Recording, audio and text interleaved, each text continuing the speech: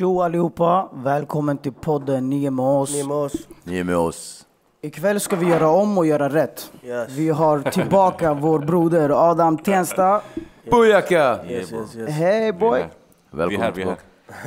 Alltså, vi måste ju bara droppa. Sist vi hade Adam här, Ja, vi, så vi hade en jävligt bra snack i en och en halv timme. Vi kom hem efter ett par dagar till och med. Sanningen där Arash, han bara, jag hör inga, han bara, jag har filerna men jag hör inga röster. Det finns ingen. Så jag går Nej. hem, jag kollar min data, jag bara, det är sant. Vi, de är borta, Adam, alla filer på datan, de försvann. Det är sånt som händer, vad ska man göra? Ja. Men Adam, du sa en ganska rolig grej. Vad sa jag? Du, eh, du bara droppade så mycket kunskap. Uff, så jag vet inte, våra... ni får repetera den där, jag vet inte om den var, om den var Ja. rolig eller inte men Den var skön. det var för mycket hade- realness för kretsarna att, Ja, att precis. orka med. Vårt ljudkort klarade inte av all den här Alltså, det, var så kunskapen. mycket, det var så mycket fire. Fire hade bande. Men det kan bara bli bättre. Precis. Vi bara Så kan det kör. bli. Hur mår du Adam? Hur har din dag varit? Jag mår bra. Eh, Jag har varit på förskolan med min dotter och eh, det är inskolning nästa vecka så det, nu är vi där så här med några, tim- några timmar per dag. Typ. Aha. Och Chilla lite. hon fyllde år häromdagen. fyllde år. Yes. Precis. Grattis! Förra Ett år. veckan. Ett år. Det är stort. Boj, Valma! Hur känns det då som, som pappa? Första Året. året har gått nu.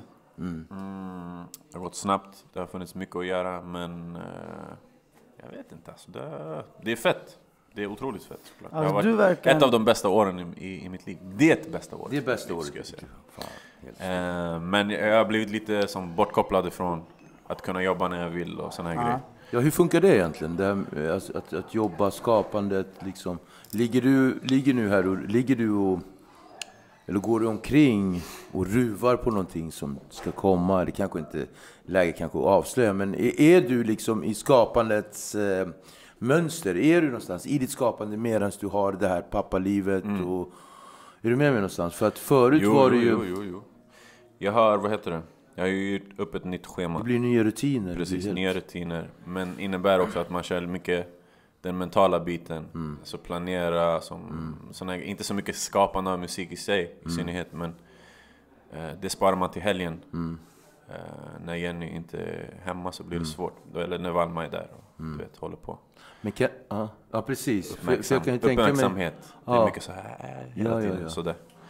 Men det är, kan- också, det är också härligt på det sättet. Men, För jag kan ju tänka mig att, eh, bara tänka mig, eh, obs, eh, observera, att när någonstans i musikens tecken eller konstens tecken, allting, när man skapar det så, så kommer ju det av olika händelser i livet, olika vardags, alltså det är liksom någonting som kommer till en.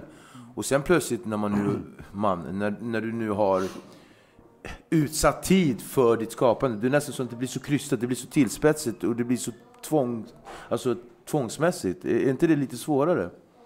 Jag vet inte om det är svårare, det är bara att det är mindre tid bara. Mm. Jag tror, jag är den typen av person som kan göra det schemalagt och kan göra det spontant. Men nu har bara den sista biten fallit bort. Jag kan inte göra det spontant Mm. längre på grund av schemat. Inte på grund av mig, av mig själv i sig. Är du med? Ja, gör det.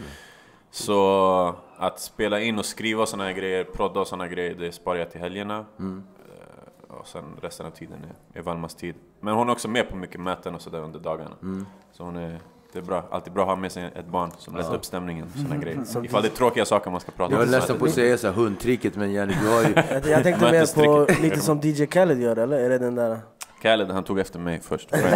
Nummer ett. Så har hon, släppt, har hon släppt ett album nu? Har hon eget bolag och allt? Hon är, hon är, hon är, Hon är med, klar. hon är med lite på med. Det, det kommer bli bra. Ja, men det är kul. Hon är jättesöt. Jag, Tack så mycket. jag, eh, jag ser hela tiden och jag är jätteglad för din skull och för, för er alla tre. Tack.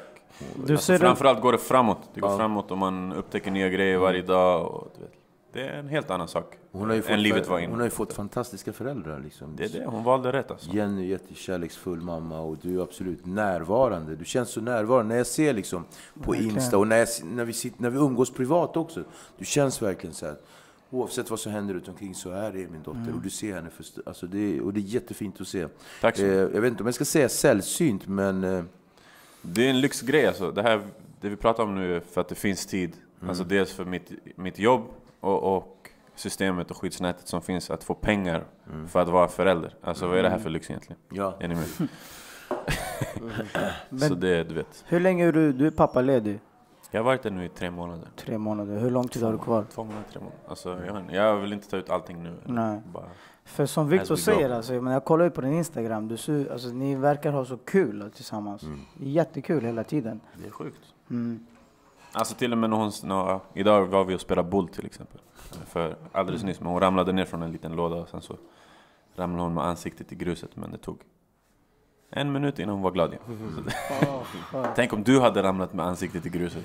Du hade inte varit glad på hela dagen. Ja. Ja, sur. speciellt jag, så här, grinig, jag hade bara fan vad är det här? Fan förstört. Nej, Nej men så det är new things alltså. Det, är, mm, det är fett. Det är fett att leva. Bra. Grattis, och det, det är du värd. Faderskapet tar ju en till helt ny nivå, en, helt, en, en, annan, en annan sorts uppgradering. Eh, Och så.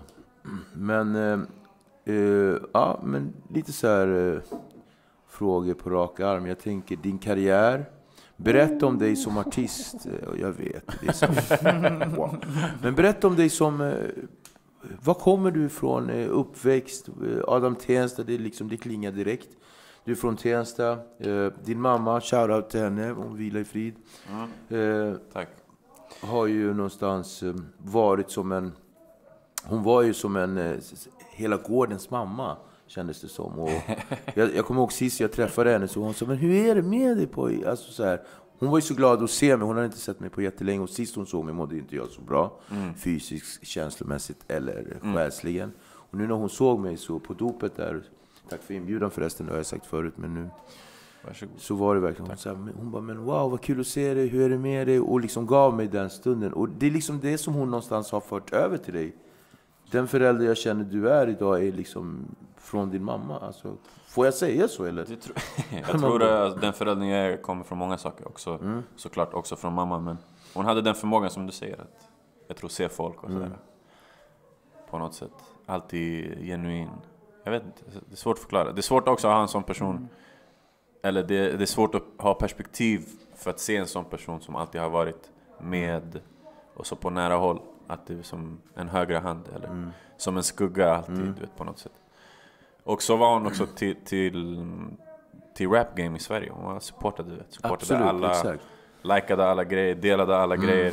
Exakt. Ehm, inte alla grejer Jenny, men de grejerna som hon gillade. Ja men precis, och det, det är också väldigt viktigt att poängtera att, att hon, hon backade ju dig och dina vänner. Det var, det, det var ju någon lojalitet gentemot dig som människa och alla andra som fanns alltså, eh, ja, i området. Jo, men hon var också, jag tror, eh, jävligt observant. Och Det behövde inte vara RMH-relaterat för att Nej. hon skulle supportas såklart. 100% men hon var, så här, hon var ju hype och så här, hon kunde ringa mig ibland och säga "Men, Har du hört den här nya låten från den här och den här artisten? Jag bara, nej jag har inte hört den men jag ska, jag ska lyssna. Och så, där, så hon var verkligen eh, Mamma hängde med. Mamma var med i gamet, definitivt. Så hur kom du in på skrivande? Berätta, ge oss lite försmak av Adam Tensta. Vad hette du liksom? Har du alltid hetat Adam Tensta? Nej, jag hette ADM för länge sedan. Alltså, mm, innan dess att jag, jag hade inte ens, du vet, man var för ung för att ha ett namn egentligen. Man tänkte inte så långt.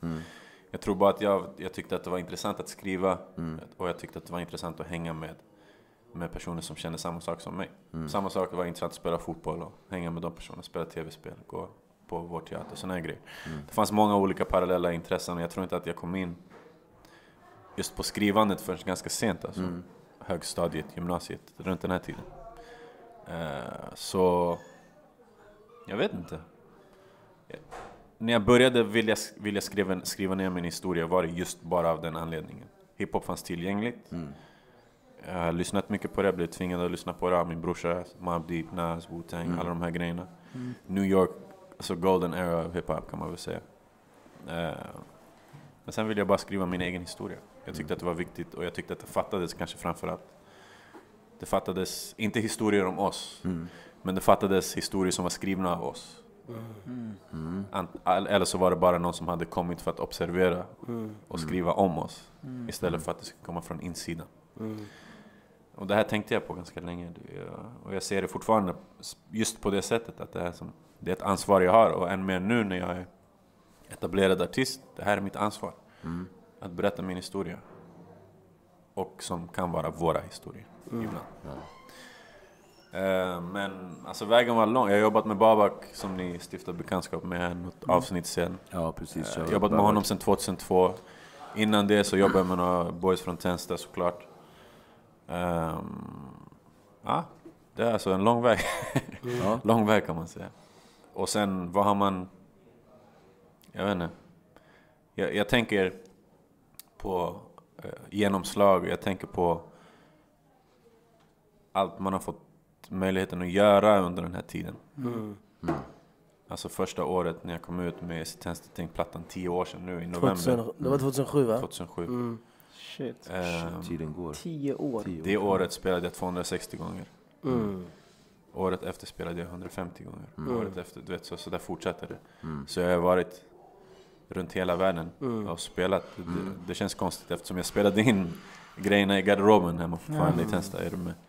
Och den Och tog i hela världen. Den tog det runt Precis. hela världen. Alltså, var, det var- on, o, Shit var det en alltså. overklig känsla? Alltså, bara, Såklart overkligt. Ja. Alltså, vi, vi är inte vana med, med framgång. Nej. Nej, Det precis. är svårt att ens... Eh, Ta emot. precis, alltså, man känner ingen som har haft framgång. Mm. De som man känner som, som har bra positioner i livet är för att de har pluggat. Alltså de är kanske akademiker, de kanske är läkare, kanske är tandläkare, kanske är jurister, kanske någonting annat. Men ingen så här... Och, och hur hanterade du den framgången? Hur lyckades du ha fötterna på jorden? Alltså båda? Eller lyckades du det? Det kanske inte ens var så. Jag vet inte. Jo, alltså jag ser mig själv som samma person, men det finns säkert andra som inte gör det. Men å andra sidan, inte de är mina skor, de vet inte vad jag har sett, vad man går igenom och, och den här förändringen från att vara en privatperson till en offentlig person. Så pass snabbt som det hände mig. Ehm, men jag tror kanske generellt att det kan vara svårt att hantera. Men jag tror att jag hanterade det bra. Ja, det tror jag också. Eh, i, som, oss- som åskådare i våra ögon så kändes det som att du... eh, allting hände över en natt. Och så är det ju ofta när man inte är insatt i personens skapande. Men för mig så var jag kommer ihåg exakt var jag var. Jag var på ett, någonstans i Nyköping på en jättelitet, en liten yta. Och jag kommer ihåg när den låten släpptes och det var så här, man bara wow, vad är det här? Det var så här, mina tankar gick direkt till så här, Artful Dodger, Craig David, lite sån där mode. Eh, och, och så liksom, Ja, men då har du fan rätt. eller hur? Lite så här. Eh, jättemycket. Och, och det var så här, för mig så, så var det så att det här är helt nytt. Och så plötsligt så bara kom du och bara fanns där. Jag kände till dig och jag, och jag kände ju dig lite grann. Och jag har ju en relation med din pappa så där, sen, från förut. Så att jag visste ju vem du var. Men det var, det, så utifrån det så kändes det som att du liksom, boom! Kom. Men, eh, Ja, jag så tror jag genomslaget var, det var kraftfullt. mm, Mm, på många sätt, men det var också beroende på hur, hur scenen såg ut Mm. vid tillfället. Det är också intressant, en intressant aspekt. Jag kommer ju som någon form av tredje, tredje våg, tredje generation av, inte Petter, Ken, Ayo, ehm, Latin Kings, Mm. första generationen. Inte andra generationen heller, inte fjärde världen, fattar du, Nej. Medina och de här boysen. Mm. Men i generationen efter det. eh, Man kanske borde räkna Ison och Philly till den andra generationen också. Men efter det så var det liksom, det var dött på den svenska hiphop-scenen. Mm. Det fanns inget riktigt, riktigt intresse och så. Nej. Så släppet av It's a Thing tillsammans med um, Standards av, med Lazy och du vet, det hände nya grejer. Mm. Det var speciellt mycket, det var mycket rap på engelska. Precis. På den Eller, tiden. ja, inte mycket, Precis. det var, typ, Ja, det, var den- det som fanns. och det som fanns, det fick Men det uppmärksammades också. precis. Det var det. Ja. Ehm, så det hände mycket i den vevan. Och så gällande skivbolag, det var så här, Youtube var nytt, typ Spotify fanns inte. Det. Mm. Skivbolagen visste inte hur de skulle hantera någonting. Det. Och sen helt plötsligt från ingenstans så kom det folk som bara, du vet, drev upp hela Mm. lyssnarskaran själva på något sätt. Via olika saker, MySpace, Youtube och etc. Mm. Så ja, exakt. jag tror det kändes- var, ja. det var en mycket sp- spännande tid alltså. Nu är det, det, det är en helt annan sak. Det Det är etablerat och Det man vet att man har alla, alla, alla låtar på demand. Liksom. Man kan bara säga, okay, men jag har Kän- alla världens känns låtar på Spotify. nu. Känns lite bekvämt nu, fast ändå... Ja. Inte, det, är svårt, det är svårt idag också. Svårare, andra saker att Mm. tänka på och ha i, i åtanke tror jag. Mm. Hur slår man sig igenom bruset kanske?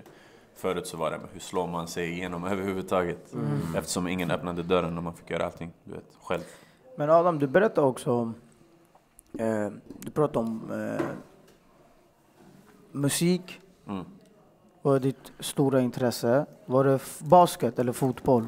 Det finns många stora intressen, så Ja. det var det som var grejen också. Men jag tänkte det som typ höll dig borta från, du vet, mindre bra, bra dåliga saker och höll dig fokuserad på du vet, det som är bra.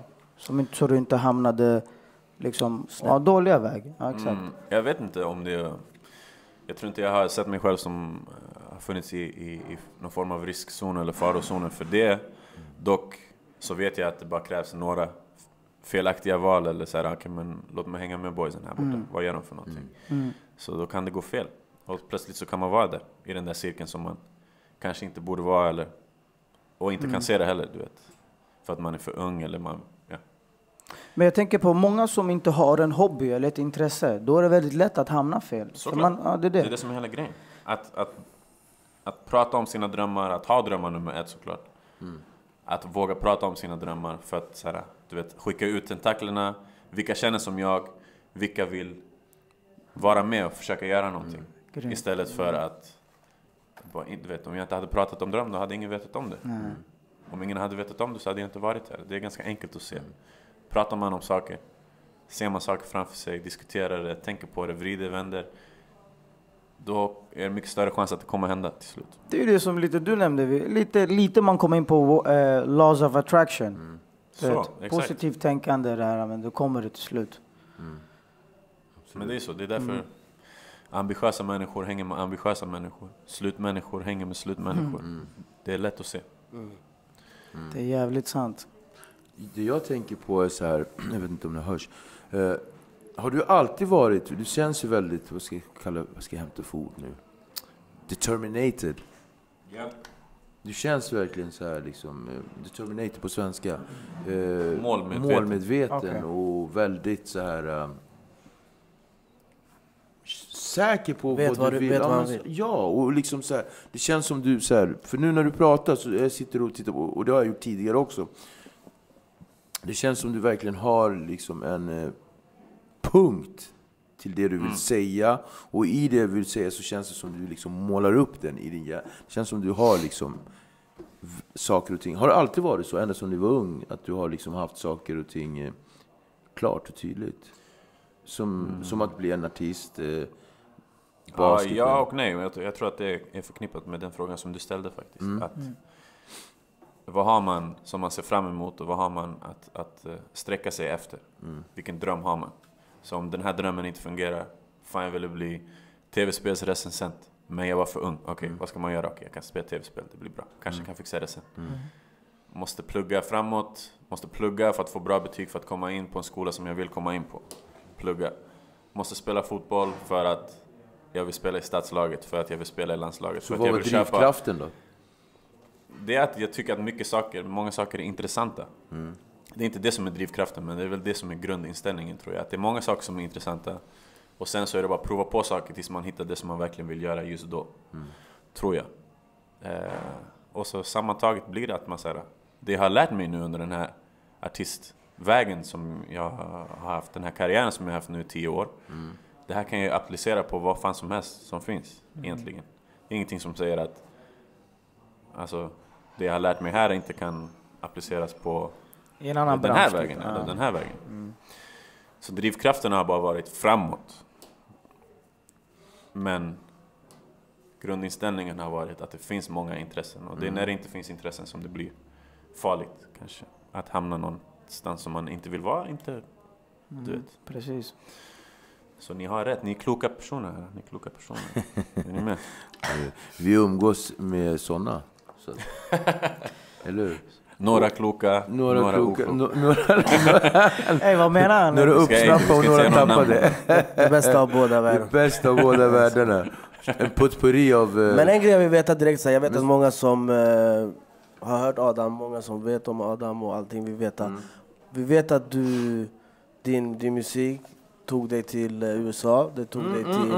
Det tog 50 dig Cent till... härvan. Nej, inte Inte 50 det? Cent härvan. Den kan vi komma till. Jag tänkte mer på, du satt hos eh, in. Interscope-chefen eller Universal-chefen Jimmy Iovine. Eh, som, det är han som har signat Dr. Dre från början, länge, Eminem. länge sen. Det är han som har signat Eminem. Ja, och allt det där. Eh, du satt i hans kontor och, och berätta lite om hur du ens kom dit. Och, eh, ja. Det var på MySpace, jag fick en- ett meddelande från en kille som heter Neil Jacobson.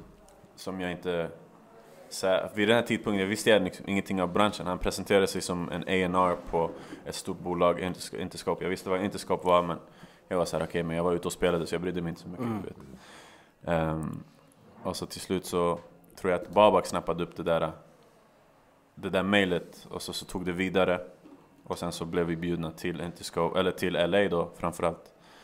Eh, så vi flög dit och de mötte oss med en limousin på flygplatsen. Och då Mm. tänkte jag, jag kan kolla på Babak, Babak kollar på mig, jag kollar på Babak. Bara, På riktigt. Okej, ja, men, Mm. vi försöker. Vi kollar vad som händer. Åkte till en sushi-restaurang.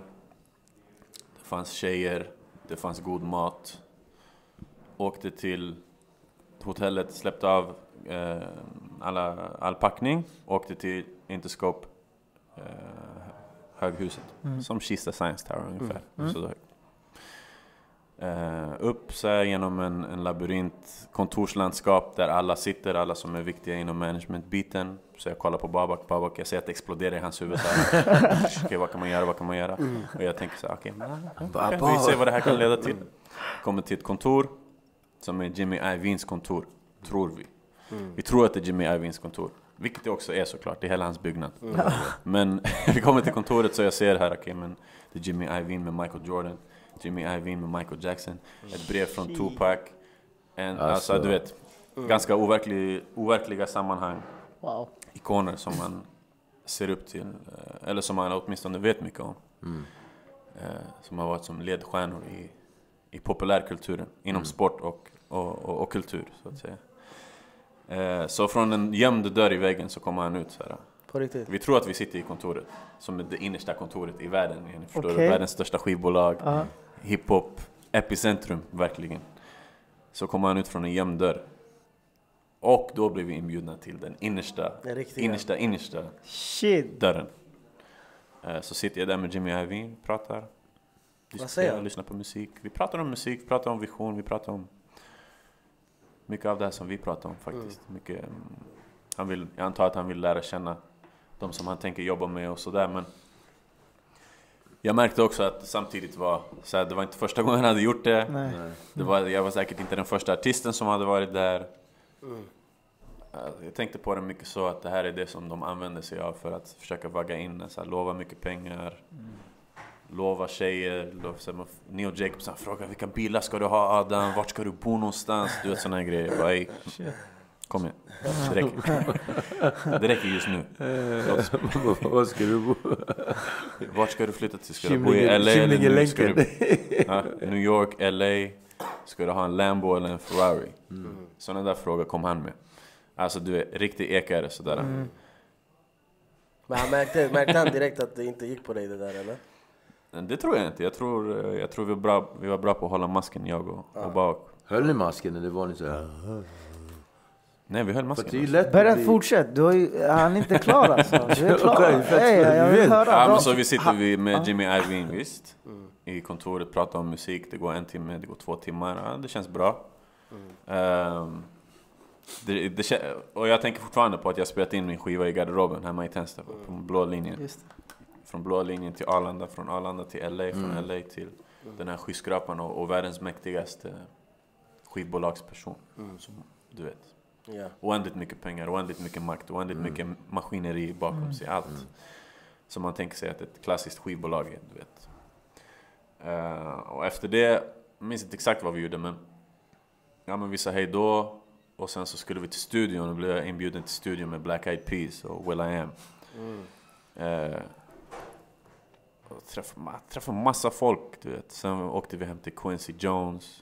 Mm. Quincy som såklart han har en, en svensk koppling också. Han, Mm. han var här mycket, fru, byggde va? sin karriär här i Sverige först. Och så här, Ah. inom jazzmusiken och så. Mm. Och han har ju en halvsvensk son, Mm. QD3. Mm. Eh, träffade massa folk, du vet. Åkte hem till Will I Am, kollade hur han bor 7000 miljarder kvadratmeter. Mm. Eh, spelade i LA, alla de här viktiga människorna kom för att se eh, vad det handlade om. Så det kändes bra, det kändes så som så här, ja men fan, varför inte? Mm. Vi kan göra det här också. Mm. Eller, det finns ingen gräns tänkte Nej. jag mest. Det finns ingen gräns för oss. Nu har jag ändå kommit så här långt. Så vad är gränsen egentligen? Ehm, såna här grejer, få beats av Will I Am, sitter med honom, dividerar fram och tillbaka. Ja, och jag tänkte hela tiden alltså, Will I Am, Black Eyed Peas, okej Black Eyed Peas för tio år sedan. Yes. Men Black Eyed Peas nu är det inte det som jag vill göra. Nej. Och då, då fick jag tanken att så här, fan, man kanske inte vet vad jag egentligen vill göra. Nej. Eftersom de ändå sätter ihop mig med Will I Am och Black Eyed Peas. Bara, är, det, är det det som jag håller på med? Har ni lyssnat på skivan eller inte? Så tänker jag. Ja, ja. Ja, ena leder till det andra. Får kontrakt, läser kontrakt. Så här tjockt kontrakt. Omöjligt att läsa ifall man bara kan grundskola engelska. Eh, Såna Omöjligt grejer. grabbar. ja, Det men, skulle vara hieroglyfer för mig och Mahan tror jag. För mig också kanske. För, nog, för, för alla i rummet tror jag, om man inte är en advokat som, som kan det språket. Så det var lite så, du vet, att, att, att åka någonstans och de vill fucka med en. De vill ge en pengar, och de, men samtidigt i mitt bakhuvud så säger jag, men fan, de vet inte vad jag vill göra. De vet inte vad vi vill göra. Så, ja, så då var vi där. Och jag vet inte, jag, ärligt så tänkte jag inte så mycket på omständigheter förutom att säga, okay, men för att jag är i LA, men vart ska jag nästa, vart, var är det min nästa spelning? Är det New York eller är det Austin eller är det, vart är det? San Men du kände att det var en hype i USA? Du, Ja, ja, det var en hype överallt. Alltså. spelades den i, dina låtar spelades, den i klubb, eh, spelades låten i klubben? Och var det, för Jag vet att den fanns på tv-spel till exempel, den fanns i någon tv-serie, Entourage. Entourage, Entourage va? Ja, Entourage, exakt. Helt Men kände folk igen det? Var det såhär, "Ey, det, det, han den här videon som, eller var det såhär? Alltså branschfolk känner igen såklart. Ja. Eh, inte alla, men de som är Hade koll? Precis, och, och till viss del scenen också i LA och sådär, och i New York såklart. Det var ju få, eh, få tillfällen där det såhär, okej men vänta, det är du som är Adam Tensta. Men det har hänt på sjuka platser att det är så. En gång så såg jag en kille, i, jag var i Senegal och spelade i Dakar. Så var jag, jag går, nej det är Thomas som går, Thomas, Bucken. Så han går på stranden, han är ute och utforskar sådär som han brukar vara. Sen ser han en kille som är helt såhär fly, flyklädd, du vet. Så Ja. Helt top to bottom tung. Och så, så connectar de på något sätt. Och så får Thomas syn på hans telefon. Och på hans telefon så spelar han Before You Know It. Sen bara... Vänta, jag, jag, jobbar, jag är här i Senegal med Adam just nu. Kom tillbaks till hotellet så fick jag träffa honom. Åh, sjukt. Såna här grejer. Wow. Sjuka platser, sjuka möten. Och det är det som jag tror tar med mig mest av allt från... Om man får summera de här tio åren. Så, här. så många som jag har fått träffat, fucka med. Det, det har, Men det Adam, vad- sjukt. alltså. vad- det har varit sjukt. Mm, Jag ärligt. tänkte på det här, äh, vad hände efter det där? När du och Babak, Ja, vad hände Åkte med det hem där, igen. Vad hände med det där kontraktet? ja, vad hände när du och Babak åkte hem igen liksom? Kontraktet åkte på soptippen tillsammans med en beat-skiva från Will I Am. Så det blev kastat och vi bestämde oss för att men vi, vi har kommit så här långt, vad ska vi göra något annat för? Låt oss Och- ta det vidare bara. Varför, alltså, kan du bara säga lite kort, varför kom ni fram till det beslutet? När allting jag- fanns på bordet? Jag tror inte att de fattade vad vi ville göra. Och jag tror att de är för stora och har för mycket stolthet för att göra det vi vill göra. Ja. De är som alla andra skivbolag, naturligtvis vill tjäna pengar. Eh, jag säger inte att jag inte vill tjäna pengar, det är inte det. Men på sättet kanske. Sättet som man vill tjäna pengar på. Sättet som man vill ha en impact på. Vi kände mycket stolthet i det som vi hade gjort fram till den punkten. Och, och än idag såklart finns det finns stolthet i att, att säga att det här som vi har gjort det här själva, vi är ingen produkt av, av någonting annat. Eller någon annans maskin eller någon annans tankesätt. Vi har gjort det för att det gick att göra. Och för att vi gjorde. Du ser nästan ledsen ut. Nej, alltså jag blir så här, Va? fan vad att du säger det, men jag blir helt, alltså jag blir helt alla, till alltså, mig. alla kan inte förstå. Alltså, vi ser, han ser helt drabbad det, ut bre. det är det jag vill komma fram till, det man vill säga. För folk fattar de vill inte veta varför. att Alltså, varför, varför? han hade allt på bordet där. Liksom. Och jag tror, vad tror ni? Att de flesta hade accepterat det där kontraktet och tänkt jag är klar. Men, jag, vill- ja. Tror du inte det? men han förklarade lite varför. Han, du vet. Ja, ja, jag Och det- förstår och- förklaringen. och kommer men jag tänker, jag, jag blir till- förvånad över det. Liksom. Absolut, och det, det var en förstår stark jag. grej. Det Ja. förstår jag. Men det kommer ju tillbaka till den här känslan som jag kan känna att jag har när det gäller just, eh, just dig Adam. i det här med determination, målmedvetenhet och liksom ha den här grundkänslan av att jag vet vad jag vill, jag har min integritet som person och absolut som artist. Som gör att du liksom, och det, jag vet inte om, om det är skiv eller i, i, liksom i branschen är någonting som är sällsynt. Men eh, om det nu är eh, en vanlig sak så, så må så vara. Men jag tror faktiskt att det är väldigt sällsynt. Att, eh, att det, för det är så lätt att liksom följas med av det du säger. Pengar, kvinnor. Eh, speciellt någon som är jätteduktig på att sälja sig på det sättet. Eh, ställen att bo. Alltså vem vill inte vara en eh, biljonär, en liksom eh, leva i flärd och lyx? Jo. Men någonstans liksom kunna få skapa och, och vara i sin egen skapelse och lidelse. Som i slut, för det handlar ju om tålamod och framförallt, framförallt integritet. Och, då, och det är lite RMH. Jo, men jag tror, jag tror det går att göra det på tusen olika sätt också. Jag Ja. tror bara att eh, alltså det är ingen som Vi säger att, att om signa med exakt- ett bolag, det är inte fel i sig att göra Nej. det, men det är bara ingenting för oss. Eller för mig personligen. Men vänta, var det, då, var det efter det här 50 Cent ringde dig? Jag tror det var ganska långt efter det. Var Det det var när jag höll efter? på att jobba på min andra platta. Okej. Men, ja, jag höll på att jobba på den. Jag tror det var kanske två år efter det eller någonting. Mm. Så, ja, men då har jag 50 ringa. Eller jag visste inte att det var 50 då, så jag la på luren. Jag trodde det var någon som drev. Ja. Sen dagen efter så ringer Babak upp och frågar så här, men varför, varför la du på luren i 50 så här? Det är så här, det- Vet du vad han ville? Såna här historier. Ja. Jag la luren lite- i 50 så här, men fan. Vet du vad han ville? Han ville höra hur det gick med musiken och sådär. Ja. Okej. Nej, jag tänkte för han, jag vet att han och Jimmy Iovine, de har lite beef, så det kanske, han kanske ville signa Adam till G-Unit. Ja, men precis. Du vet, Tony Yeo och Lloyd Banks, Adam Tensta. Ja, Vad förstår du? Har de beef, han och Jimmy? Nej men, Vad Det är sjukt lite- ifall jag hade någonting varit med, med i någonting med, G-Unit. hö- det har någonting med hörlur... Vänta, vad är sjukast? Ja, Ifall jag ska vara med. Black Eyed Peas Eller? G-Unit? Men vilken är sjukast? Sjukast hade varit G-Unit. Ja, jag tror också det. Jag hade alltså, det inte... hade varit liksom såhär, Då ey. blev gangster. Då det blev gangster bror. Ja, exakt. Men alltså Fergie, alltså, jo, men, alltså jag menar så här. Så. Hey.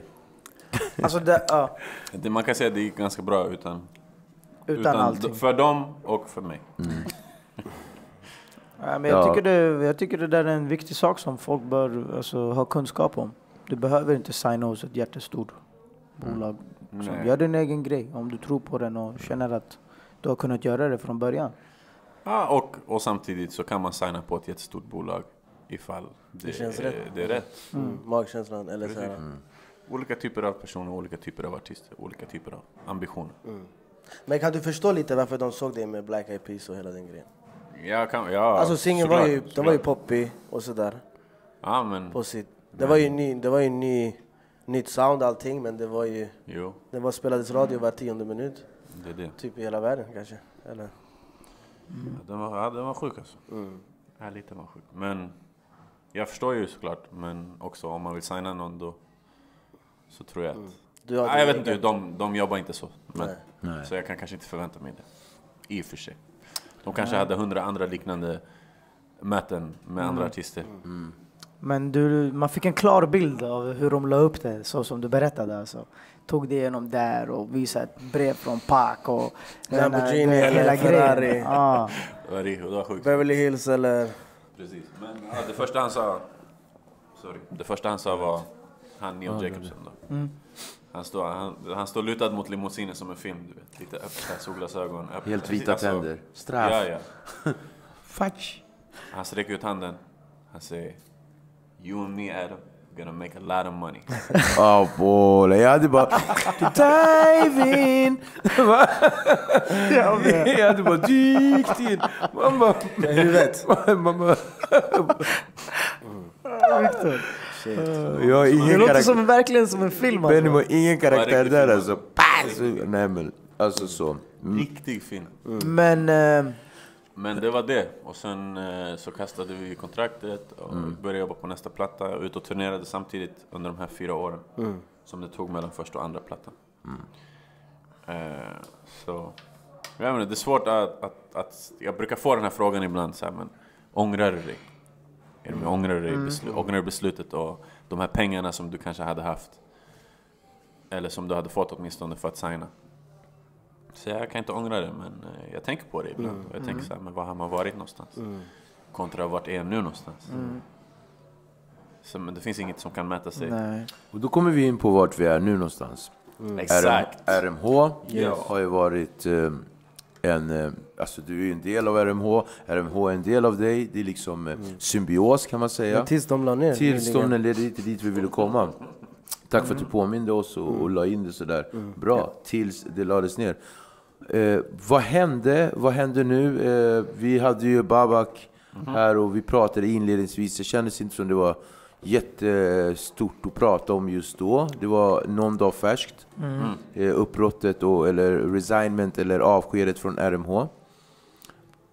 Eh, berätta dina tankar och känslor kring det här och berätta lite innan du kanske berättar om just det här med avbrottet. Eh, din relation till alla artister i, inom eh, din RMH-familj. Jag ser du har Silvanas eh, logga tatuerad.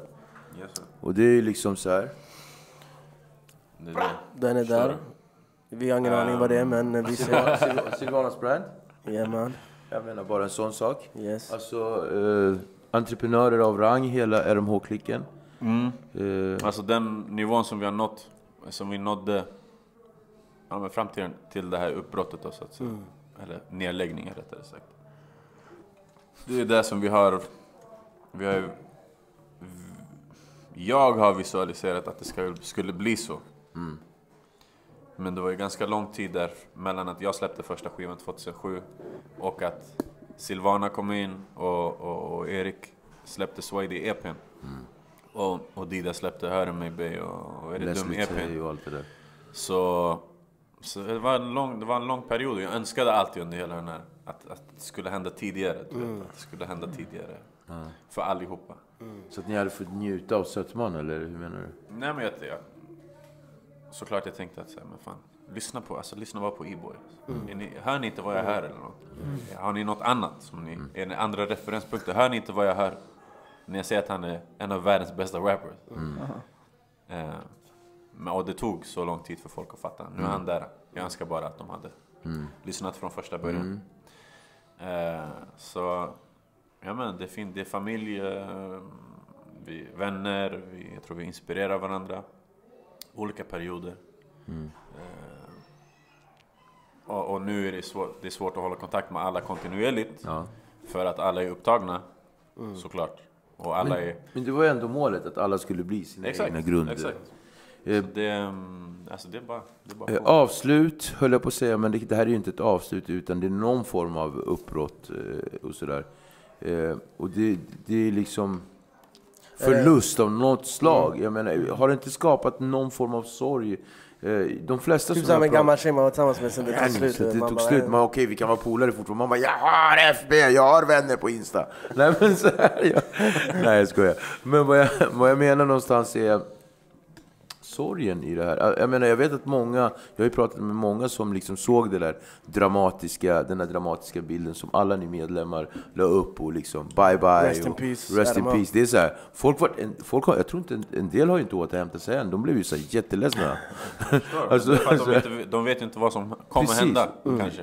Och de känner att det kanske är så här, men ett sånt tvärt avbrott. Varför? Varför? Ja. Varför? Man ställer sig en massa frågor såklart. Och, må, och många, eh, du vet de här som tänker på på konspirationsteorier direkt. Och, som, som tänker på, vad, heter de där? Illuminati-flöjtar. så Illuminati-flöjtar, de bara hej lyssna.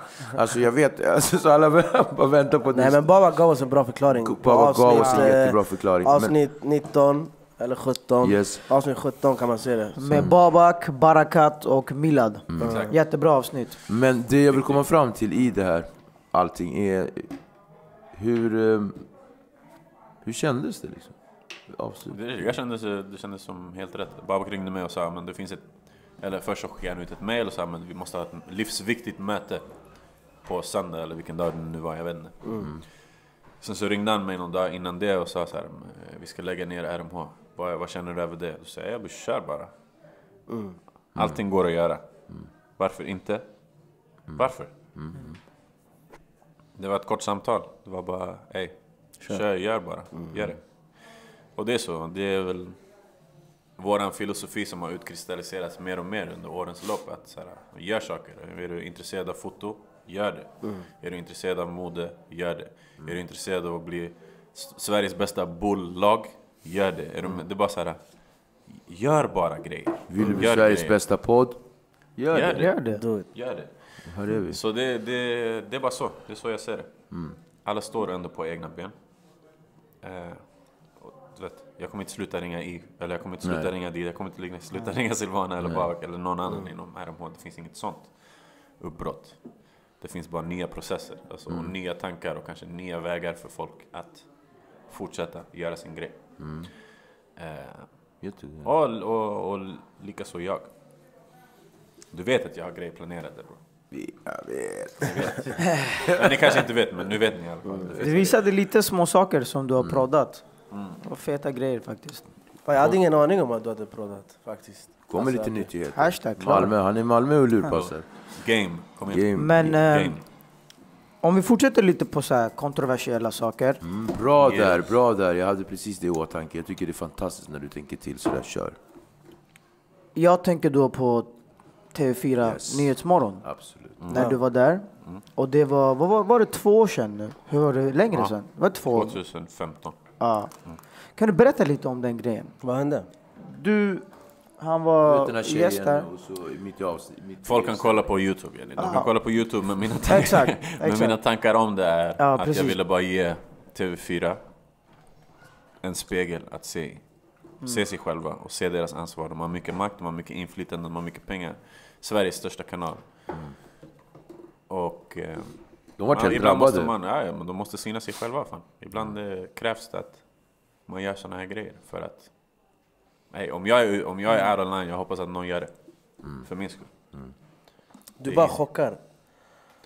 Olika grejer så hela tiden. Han bara, inte skåp. Nej, 50 cent, lägg på. TV4. TV4 fuck it. det är sant. RMH, lägg ner den. Så här, som en klackspark. Men eh, så, som, som, vad, fick du för, vad fick du för respons av folket efter det där Adam? Jag tror att det har varit en vattendelare som det heter. Eh, att Vad sa du? Det har varit? Vatten, Vattendelare. en vattendelare. Moses, är du med? Mm, ja, ja, absolut. Jag förstår. Jag hörde inte vad du sa. Jag förstår. Jag försöker inte säga att jag är Moses. Jag bara, hold up. det, var, Att det var delade ås... det Eh, räcker Viktor. Open up! Det Jag trodde det var var en, någonting annat som delade samma. Va? Nej, nej, nej. Jag hörde inte vad han en sa. vattendelare för att eh, jag tror folk kände på ett sätt väldigt starkt och ett sätt kände att det var helt rätt. Vissa kände att det var helt fel, vissa kände att det var helt rätt. Mm. Så och det är så. Men... eh, Och det var det som var hela ja. Meningen med aktionen var att folk ska börja debattera, lyfta den här frågan kring rasism, kring nolltolerans av rasism till Fick du ytan. ta emot mycket kritik för det här? Ja såklart, jag får fortfarande ta emot mycket kritik. Men jag tänker, hur, och de som inte håller med Ja. det du säger. Man bara, hur tänker de? Det måste vara folk med lite mer eh, främlingsfientliga åsikter. Förstår du? Främlingsfientlig är ett eh, milt ord i sammanhanget. Ja, Vi kan ja, säga att de är rasister, det är det ja, ingen problem. ja. Ja men precis. Eh, Rasistiska ja, alltså åsikter, Inte bara, ja. eller, såklart det inte bara är rasister som tänker så. Nej. Det är många av, av, av rasisterna tänker så, ja, naturligtvis. Men andra som inte är rasister tänker också att det var kanske fel eller Ja. att det var konstigt gjort eller att jag var otrevlig eller någon av de här grejerna. Men som sagt, om ni, om ni läser caset supertydligt. Jag skrev också en artikel i Aftonbladet samtidigt som jag gjorde hela grejen. Ehm, så jag vet inte, alltså att ta emot dödshot, det, var, det räknar jag med. Jag- vet hur klimatet ser ut. Jag- man, man är inte dum. Nej. Utan man kunde tänka sig att okej, men det kommer finnas folk som vill döda mig efter det här. Okej. Och det var så allvarligt så att folk eh, körde med sådana tricks? Ah, på nätet alltså, de försökte döda mig på nätet. Men jag, så jag men, tänker, ja, men alltså, ja, absolut. Men det är ju en- det är tillräckligt allvarligt. Ja, det är allvarligt, men det är så det är klimatet ser ut så. så jag tror eh, att...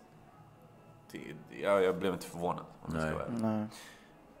Jag blev förvånad av en sak, över en sak och det var att folk gjorde det öppet. För, alltså troll är ju troll och de gömmer sig bakom en, mm. en svensk flagga eller någon bild på en bil eller bild på en häst, vad fan som helst. Men det här gjorde de öppet. öppet med sina egna bilder och du vet, i sin egen profil. Det, fanns, det var som en brytpunkt att okej, men det var nog för dem nu, typ. Eller något sånt. Nu är det med. Konstigt nog. Ehm, så det var, det var TV4-incidenten, om man kan kalla den för en incident. Men jag, jag ville bara lyfta debatten och det debatterades fram och tillbaka. Så det var bra. Nej, men för alla, för de som inte har sett och inte vet vad vi pratar om, gå in på Youtube. Adam Tensta, TV4 Nyhetsmorgon. Så ser ni vad, ni vad vi pratar om. Och vi kan, eh, jag tycker att vi ska belysa lite låtar, alltså musik. eh, Jag är jätte så här, jag, jag gillar skapandet. Jag gillar, eh, jag gillar eh, det som händer när man gör saker. För att jag antar att, fan vad jag skulle vilja vara någon som skapade musik. Alltså. Fan vad coolt det skulle vara. Jag, jag skulle till och med vilja, alltså jag skulle vilja som i den här Måste Git. Plantera ett träd, skriva en bok. Släpp en Släppa en skiva. Släppa en skiva! Hajar ni hur mitt mixtape skulle se ut län? Jag skulle se ut så här. Future. Du skulle ha, du skulle ha bra featurings på i alla fall. Värsta Du skulle ha, ah, som Adam säger, du skulle ha feta gäster på. Alltså. det är de som skulle bära hela grejen. Men då tänker jag så här att... eh, De bara hans skiva, han har inte sagt ett ord, det är bara folket. Eh, eh, nej men jag kollar på din... När man går in på dig, Yes. Tensta Adam, så, så ser man ju att den, eh, den låten som är mest spelad såklart, alltså, det är My Cool. Och vi har ju liksom pratat lite om hur den, eh, alltså har vi ens pratat om hur den kom till? Det vet jag inte. Men vi har pratat Har vi kring pratat om den hur lite grann. Har vi det? Nej. När jag spelade in den på min födelsedag, Mm. första augusti, I Dalarna va? i Umeå faktiskt, med Nils.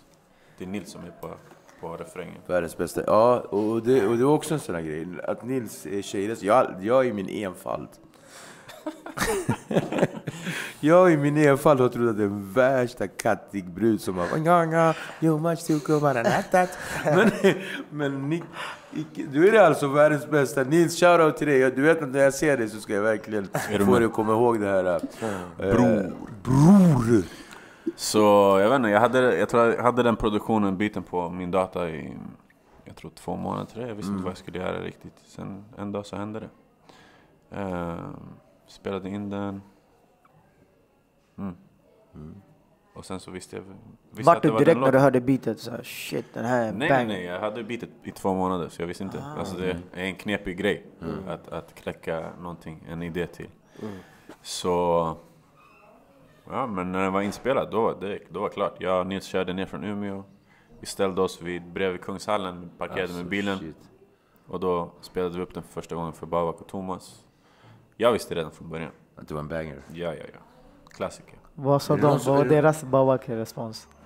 De sa samma sak. Det är, så det är klart den här låten. Ja. Normalt. Alltså, och det var ju den, det var den tredje singeln. Banging on the system kom först, sen kom They wanna know. Så allting som vi hade gjort var såhär, okej men... Banging on system större än någonsin. Hade ni släppt som dem båda två innan du gjorde Ja. den där? Precis.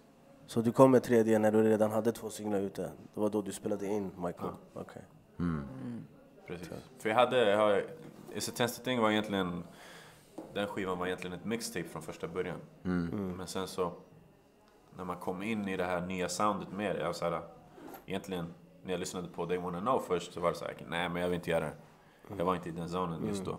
Men sen så när jag gjorde den, jag skrev den också fett oseriöst här på 20 minuter, 25 minuter. Spelade in den, då började man, man började fucka med det på något sätt.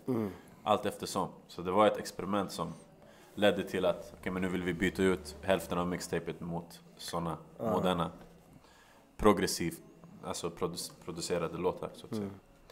Ehm, som ska vara svåra att, att, att genre bestämma.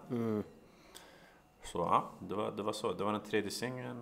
Fjärde singeln var Before You Know It. Just det. Femte singeln var Dope Boy. Du vet, jag hade... Jag vet inte hur många A-rotationer på radio det Fem året. singlar? Det, det var sjukt. Det var sjukt. Det var sjukt. Och sen så började du, Platinum in the streets, förstår du? you know what I'm saying? Så började du köra på svenska också. Eh, och, eh, att, att, aha, Det var inte. långt efter. Du var långt efter. Way, Långt, way, way. långt efter. Sen kom andra plattan. Åkte på turné. Gjorde min grej. Den blev såklart inte lika stor som första plattan, men det är en bättre, bättre skiva tycker jag såklart naturligtvis. Men det var annan mode, annan vibe på den där andra Ja, plattan den var också. mörkare. Den var som The Mer eller scared avskalad. of the dark? The empty. Scared of the dark. The dark. mer avskalad, mer seriös, mer... Mer... eh, Alltså lika elektroinfluerad skulle jag säga. Okej. Men, men, men en mörkare ton. Och en mörkare del av, av livet. Jag känner. Yes.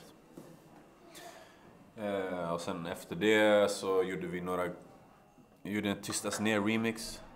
Just det. Just det. Stress. Den, precis, den blev Fet låt. också stor. Mm, den fick, inte, den fick liksom inte spelas på radio för, på grund av innehållet. Mm. Folk var känsliga och anmälde den. Just det. Och det var egentligen första grejen som vi gjorde på svenska. Jag, var så- jag, vill inte, jag var inte så inspirerad av svenska vid den, vid den tidpunkten. Och det har jag blivit först kanske Men två år sedan max. ja. Alltså, Mm. att, jag, att jag tycker att det hänt någonting med svenska språket. Att det har tagit ett steg framåt. Innan det så var det inte intressant. Det var det så, var stelt eller? Mm.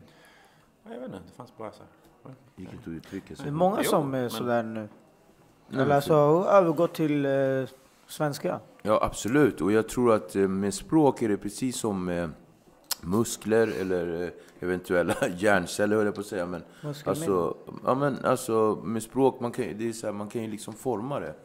Och, och är man där och håller på och rotar i den och liksom använder och fantasirikt och liksom bara är så här, så är det precis som med muskler, du måste ha tyngder. Så att du, liksom, du måste liksom köra på. Det är det. Men jag har ännu jag inte tror. Mm. utforskat det där fullt ut. Alltså, jag, jag håller på att jobba på en EP nu, eller två EP-skivor nu som Mm. är på svenska. Men jag har bara släppt Svart bebis och Tystas ner. Mm. Och sen någon annan remix. Typ. Kanske två andra remixes.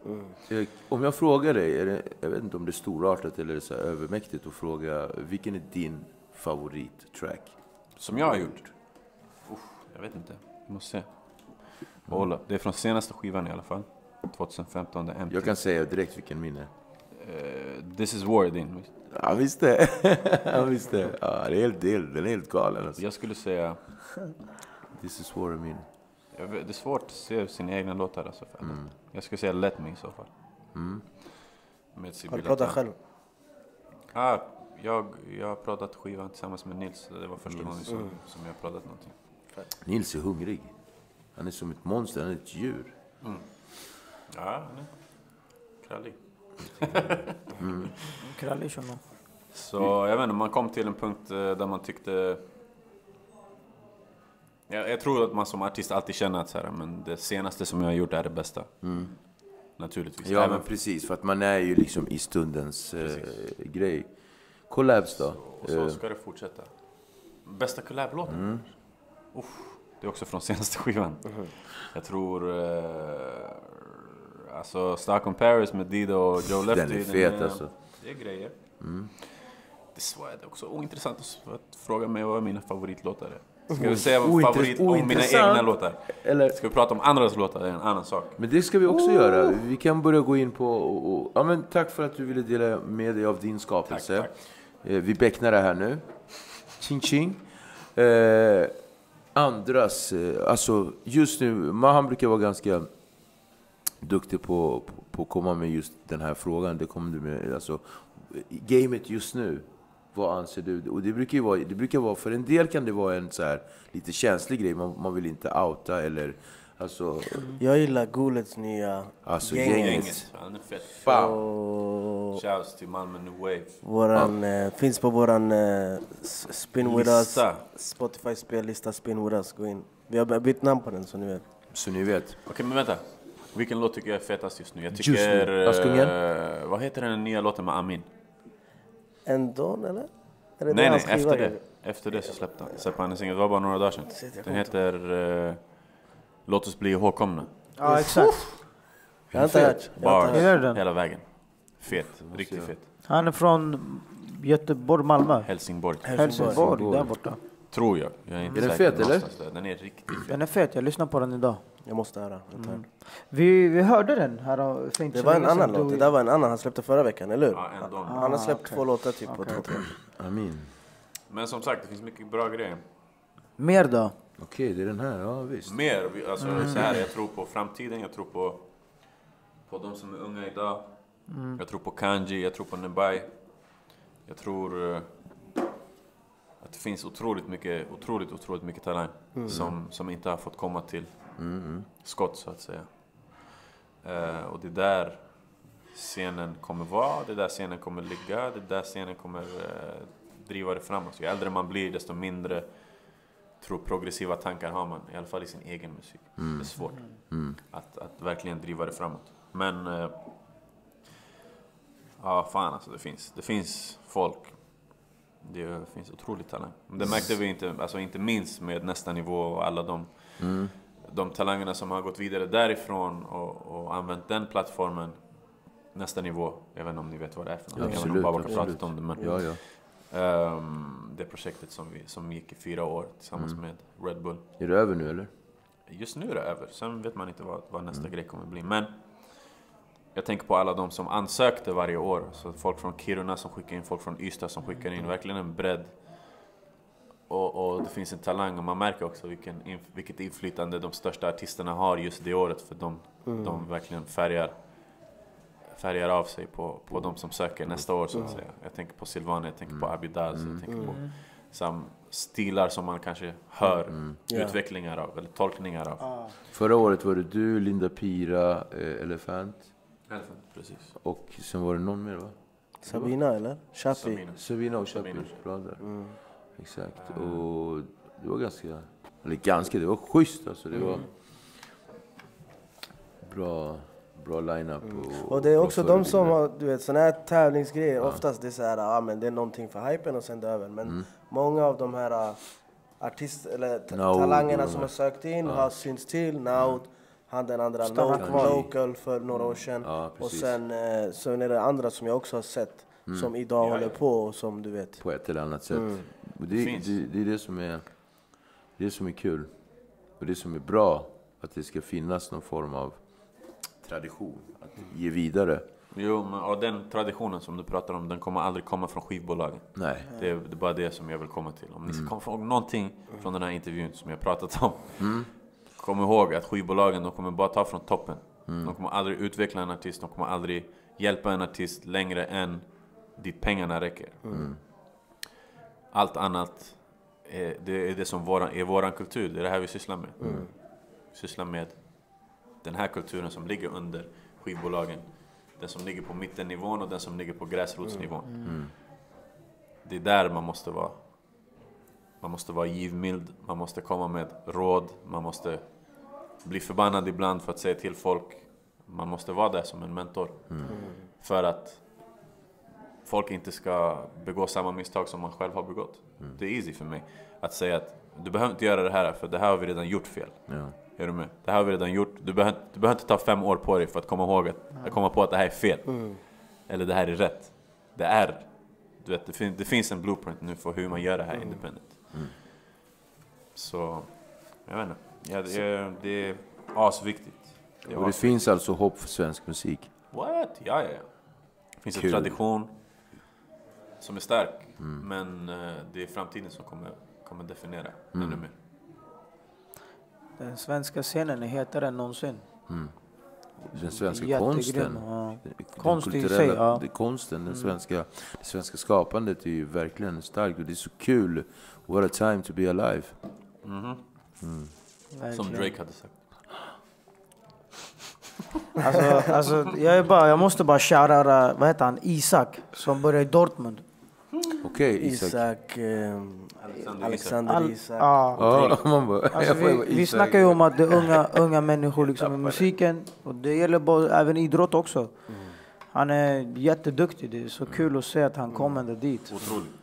Och vänta, va- var det inte så att det var först snack om att Real. Real. Jo. Ja, Det var snack om Real och det. Ja, Alltså det var snack om jättemycket Real sa, Barca. de sa att Real är klart, de hade klart. Ja. Sen dagen efter, han, de bara, han skrev på för Dortmund. Fett, fet grej alltså. Kul. Smart drag, Mm. Vilket är ditt lag Adam, fotboll? överlag. AIK. AIK? Det finns inget annat lag. Nej men det finns... Vi alla är AIK, det- han är bajare här men vi, Det räcker. det är okej. Men du är från söder och sådär. Bara för att en åsna är född i ett stall betyder inte att det är en häst kompis. Han, har- det ligger någonting i det han säger. Jag måste säga det, det ligger någonting. Okej. med sanningen garva Och inte, okej, om vi skiter i svenska lag. Men då- Då vill jag bara se bra fotboll. Basically. Okej, Och så vill jag okej, se vi Barcelona säger så här förlora. då. Jag vill se Barcelona förlora allt.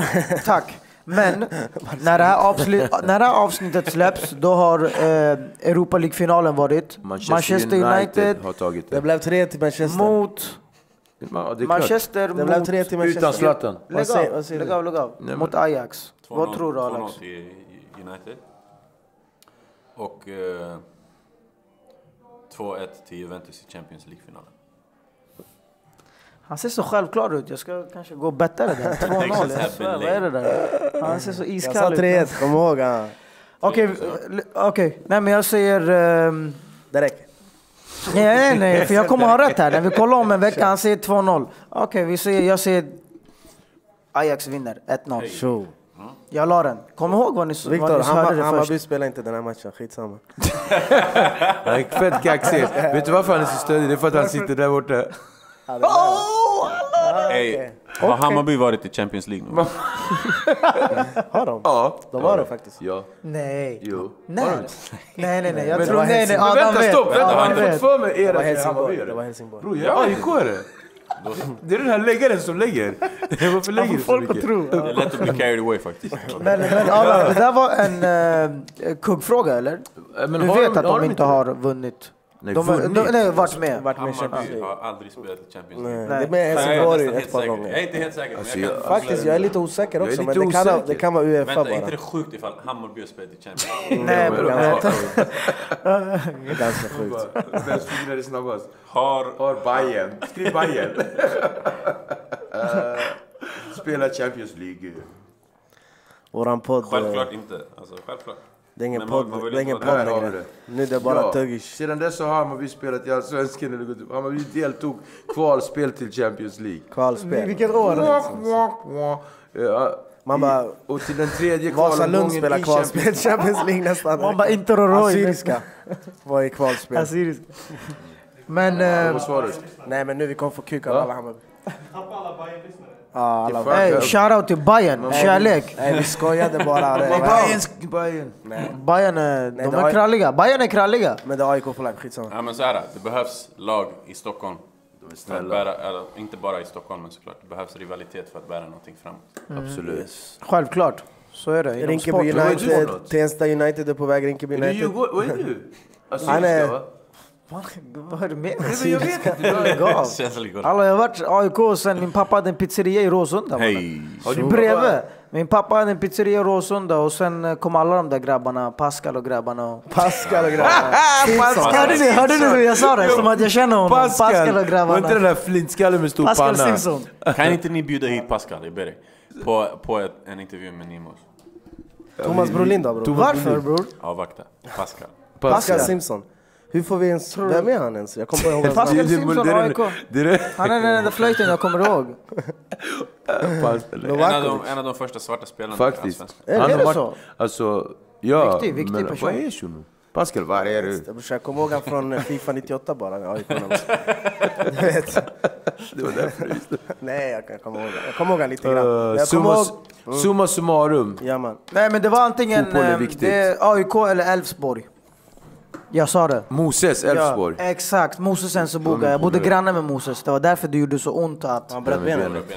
Han bröt inte. Han körde- Moses, var, han, lyssna, Moses hade kontrakt med England. Han skulle komma till eh, England och spela i någon eh, bra lag där. Men den sommaren, Den sommaren var han med om en bilolycka med sin vän och var Druckit. tvungen att amputera, amputera benet. benet. Men nu är han fotbollstränare i Hagalund va? Eh, Vasalund. Vasalund. Vasalund, ett tag i alla fall. Jag var vet inte. alltså. Han var, alltså, fattar du vilket, hör du? Man blir, jag får bara kalla kårar när jag pratar om det. Det var en väldigt, väldigt tråkig period. Mm. Men, eh, ja det är den. Han krigar på, det är det som är kul att se idag. Killen krigar på, han är tränare. Bra. Det går bra. Kul. Undrar när vår första fotbollsspelare kommer till Nemos. Vi måste... Vem skulle du vilja se Adam här? Vem skulle du vilja höra en svensk Jag vill se, vad fotbollsspelare? heter jag vill se Gudetti för att han är bra på att prata. Ja. Han han har eld alltså, han har eld. Zlatan såklart. ja, men Zlatan är, Han det, han har vi planer för. Han, Han vet kommer. inte om det själv. Det kommer. Det kommer. Men det är sant, Guidetti han verkar vara en sån som bjuder på sig själv, han snackar och han är inte rädd, blyg för att säga saker. Ja. Krallig från Rissne, jag ska plocka med honom någon gång. Men okej, sammanfattningsvis. Ja. Vad tycker du om svensk hiphop just nu? Jag tycker att... Eh, jag tycker att den är... Jag tycker att den är bra. Alltså när du säger hiphop så blir det så att jag fastnar precis i någonting för att bara hiphop. Men jag tycker att eh, svensk, eh, svensk hiphop just nu är väldigt eh, stark. Den är, det är jättestark och jag gillar att den är så bred. Det är så mycket olika, olika sorters, sorters, nu känner jag att jag använder fel ordval, men det, det, det är så diverse. Det är liksom, det, det är creddat med så mycket Olika stilar. olikheter, olika stilar. Vi pratar Malmö, alltså Malmö New Wave, jätte, jättestark.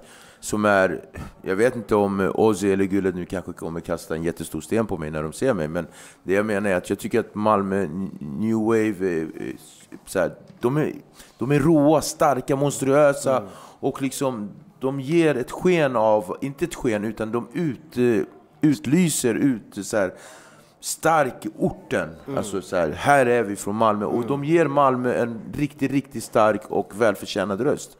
Så att, och så till Göteborg, Bennett, Param. Alltså, vi har ju liksom, och där, det är lite mer, alltså där är också väldigt, och det känns som att Göteborg också är, är, är i en så här movement. Det är en våg.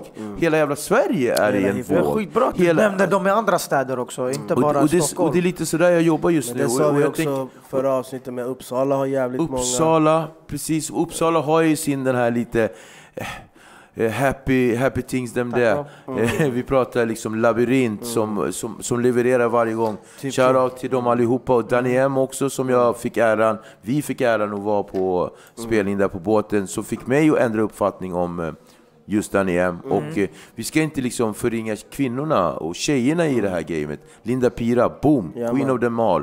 Eh, vi har Blen, vi har Kumba. Alltså vad har vi mer? Alltså vi har Cleo, vi har Anna Ja. Diaz, alltså Savina Sherry. Dumba, vi har Sherry. Alltså jag kan hålla på. Och då kommer jag in i det här att jag ska försöka förklara allt det här. För då, då blir det plötsligt inte bara hiphop, utan men det blir för mig musik. Och musiken i Sverige, men framförallt hiphopen, är liksom... Hiphopen har blivit så här rumsrent. Och jag blir så glad, för det, det är liksom... Att nu Malou, Malou kan hämta hiphopartister, det är ganska nice. Och- Men det är samtidigt det där... Du skrattar, men jo, alltså... men kolla det är lite det där som vi ändå vi pratade om på, med Linda och med, med Danny och dem att Även om de går till Malou, de frågar ju bara så här, men Andra men saker. inte mot exakt. Malou nu eller men alla de här, vad det nu heter, att typ såhär Ja men Hur är du det är ju från Rinkeby, Förorten, ja. hur, så här, hur känns det att ha vunnit en Grammis när du är där? Eller hur känns det, din uppväxt var ju tuff, alltså förstår du? Eh, Och när Men Sherry var där, Ja. då, Linda sa ju det, de nämnde inte en enda grej om hennes uh, hennes Grammis. musik typ. och hennes Ja. att hon var Grammis, det var mer Jättetråkigt. Men eh, det är ändå, Det, är på det är framsteg, och det är det jag försöker säga att förhoppningsvis i en perfekt värld, eller i ett perfekt Sverige, så kommer det liksom... Bara det som Stor sa, shoutout till Stor också. Eh, det här med Grammis, att det ska finnas de här kategorierna. Men då, kommer- då måste vi liksom förändra in i etablissemanget. Men någonstans, det ska ju liksom finnas priser för En- hiphop. enbart hiphop, Enbart, liksom. enbart för hiphop, enbart Soul. för soul R&B För annars är det så jävla många som ska kriga om samma grej. Det känns som att, ja men låt dem få kriga om det där. Han hade en bra poäng där. Jättebra poäng. Så att jag, jag tycker att, jag, jag känner så här, ni, ni är med oss, våran podd, eh, vi har ett syfte. Det är att ta fram, belysa, kritisera absolut när det finns fog för det. Men också liksom, ja, eller framförallt belysa att så här är det. Och vi är här för att fylla det tomrummet. Vad tycker du Vi är Adam? musikens ambassadörer. Mm. Vad Eller tycker du? det skapandet, Ja. eh, det kulturella, urban ambassadörer. Men om man allt. ställer samma fråga till dig som Ja, vad tycker du? till Viktor, vad tycker du? Var jag långrandig eller? Det var ganska långt svar, ärligt. Var det långt va? Eller hur? Jag höll, med- jag höll Tiden med om eh, mycket som Viktor sa. Mm, och jag tycker att Sverige befinner sig i en intressant punkt. Det är intressant, det är mycket som händer. Det är det här som man såg framför sig. För jävligt länge sedan, jag ville se det här. Det som händer nu är det som jag har velat se. Velat ska hända, men som inte riktigt har kommit till den punkten. Nu är det som, det är viktigt att det finns olika stilar, det är viktigt att det finns olika personer. Det är viktigt att bygga nya profiler. Det är så man håller en genre aktuell och levande. Istället för att bara ska handla om samma personer hela tiden, hela tiden, hela tiden. Det blir till slut ointressant. Eh, så det, det är där Sverige är just nu. Försöker hitta sig och lyckas ibland och göra det. Eh, ja, alltså, och, och framförallt att det finns mycket ungdomar som lyssnar. Man får aldrig glömma lyssnarna i sammanhanget. Det är de som egentligen bär det hela. Det är de som kommer på spelningar, det är de Precis. som ger pengar i slutet av dagen Exakt. att artister ska få uttrycka sig på det här sättet. Så eh, det här det är en symbios. Vi gör det här tillsammans. Precis. Jag, Vad säger du? det, det är bland de första gångerna som, eller första gången som jag ser symbios som ett positivt ord faktiskt. Jag har alltid sett symbios som någonting så här, så wow. Inte, men ja. Ni vet vad symbios betyder va? Ey! Det kommer dö lan. Tack som fan Adam. Tack tack, Adam. Testa. Tack Det kommer igen. Eh, Vi googlar upp som, som bil. Symbios! Ey, fan. Glöm inte... Adam, en eh, låt till vår Spotify-lista. Ah, Amin. Låten som jag pratade om Absolut. Yes. Glöm inte våra Spotify-spellista, Spin with us, eh, pff, vad säger man? Spin gå, in with och, us. gå in och följ och sådär. Och sen jag ber dig filma Viktor bara hela vägen sen. Just. Sanningen dör Ash. One for the money, but two I did for you, babe. Took you across the world when I was living in my suitcase. And I admit that I was acting cold, but it was too late. Communication error, guess it didn't go two ways, uh. And she never knew what I was feeling. I should've written back, but I didn't. Put the phone on silent just so I could say I missed it. And I still don't understand why a motherfucker did it. I only know that I lost you because of that. Now you're sitting there with pistols in your lap. You're trying to shoot me down every time you get the chance. You're just trying to make it hurt. You're just trying to get me back. I understand, but I can tell you this Being without you is a war when I'm a pacifist Shots ring all around and someone hit me It's not what I wanted, it's a shame that we didn't come to this But this is war Mönster, är du någonstans i ditt skapande medan du har det här pappalivet? Mm. Och, är du med mig någonstans? För att förut Jo, var det ju... jo, jo, jo. Jag har, vad heter det? Jag har ju gjort upp ett nytt schema. Det blir nya rutiner. Precis, nya rutiner. Men innebär också att man kör mycket den mentala biten. Mm. Alltså planera, som, såna, inte så mycket skapande av musik i sig Mm. i synnerhet. Men eh, det sparar man till helgen. Mm. Eh, när Jenny inte är hemma så blir det svårt. Då, eller när Valma är där och Mm. du vet, håller på. Men kan, ja, ja, precis. För, för Uppmärksam, jag kan mig... uppmärksamhet. Det är Ja. mycket så här hela Ja, ja, tiden. ja. Sådär.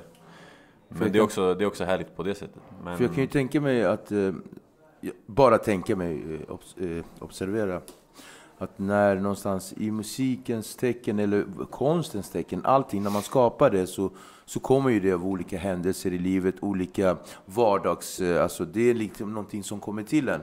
Och sen plötsligt när man nu, man, när, när du nu har utsatt tid för ditt skapande. Det är nästan så att det blir så krystat, det blir så tillspetsigt och det blir så tvång, alltså tvångsmässigt. Är är inte det lite svårare? Jag vet inte om det är svårare, det är bara att det är mindre tid bara. Mm. Jag tror, jag är den typen av person som kan göra det schemalagt och kan göra det spontant, men nu har bara den sista biten fallit bort. Jag kan inte göra det spontant Mm. längre på grund av schemat, inte på grund av mig, av mig själv i sig. Är du med? Ja, gör det. Så att spela in och skriva såna här grejer, prodda och såna grejer, det sparar jag till helgerna. Mm. Eh, Och sen resten av tiden är, är Valmas tid. Men hon är också med på mycket möten och sådär under dagarna. Mm. Så hon är, det är bra, alltid bra att ha med sig ett barn som lättar upp stämningen. Såna grejer. Ifall det är tråkiga saker man ska prata Jag om. höll så är nästan på att säga så här, hundtricket, men Jenny, du har ju... Jag, jag tänkte mer på lite som DJ Khaled gör eller? Är det den där? Khaled, han tog efter mig först. Nummer ett. Så har hon, släppt, har hon släppt ett album nu? Har hon eget bolag och allt? Hon är, hon är, hon är, Hon är med, klar. hon är med lite på saker. med. Det kommer bli bra. Ja, men det är kul. Hon är jättesöt. Jag, Tack så mycket. jag, eh, jag ser hela tiden och jag är jätteglad för din skull och för, för er alla tre. Tack. Du Alltså, ser det, framförallt går det framåt. Det går Ja. framåt och man upptäcker nya grejer varje dag. Och, du vet, det är en helt annan sak Hon har ju fått, än livet var innan. hon har ju fått fantastiska föräldrar. Liksom. Det är det, hon valde rätt alltså. Jenny är jättekärleksfull mamma och du är absolut närvarande. Du känns så närvarande. När jag ser liksom på Verkligen. Insta och när, jag, när, vi sitter, när vi umgås privat också. Du känns verkligen så här. Oavsett vad som händer runt omkring så är det min dotter och du ser henne. För, alltså det, är- och det är jättefint att se. Tack så Eh, mycket. jag vet inte om jag ska säga sällsynt men eh, Det är en lyxgrej alltså. Det, här, det vi pratar om nu är för att det finns tid. Mm. Alltså dels för mitt, mitt jobb och, och systemet och skyddsnätet som finns att få pengar Mm. för att vara förälder. Alltså vad är det här för lyx egentligen? ja. Är ni med? Men- Så det, du vet. hur länge är du, du är pappaledig? Jag har varit där nu i tre månader. Tre månader. Hur lång tid har du I kvar? världen, ni förstår Okej. du? Världens största skivbolag. Ja. Hiphop, epicentrum, verkligen. Så kom han ut från en gömd dörr. Och då blev vi inbjudna till den innersta, Den innersta, innersta Shit! dörren. Eh, Så sitter jag där med Jimmy Iovine, pratar.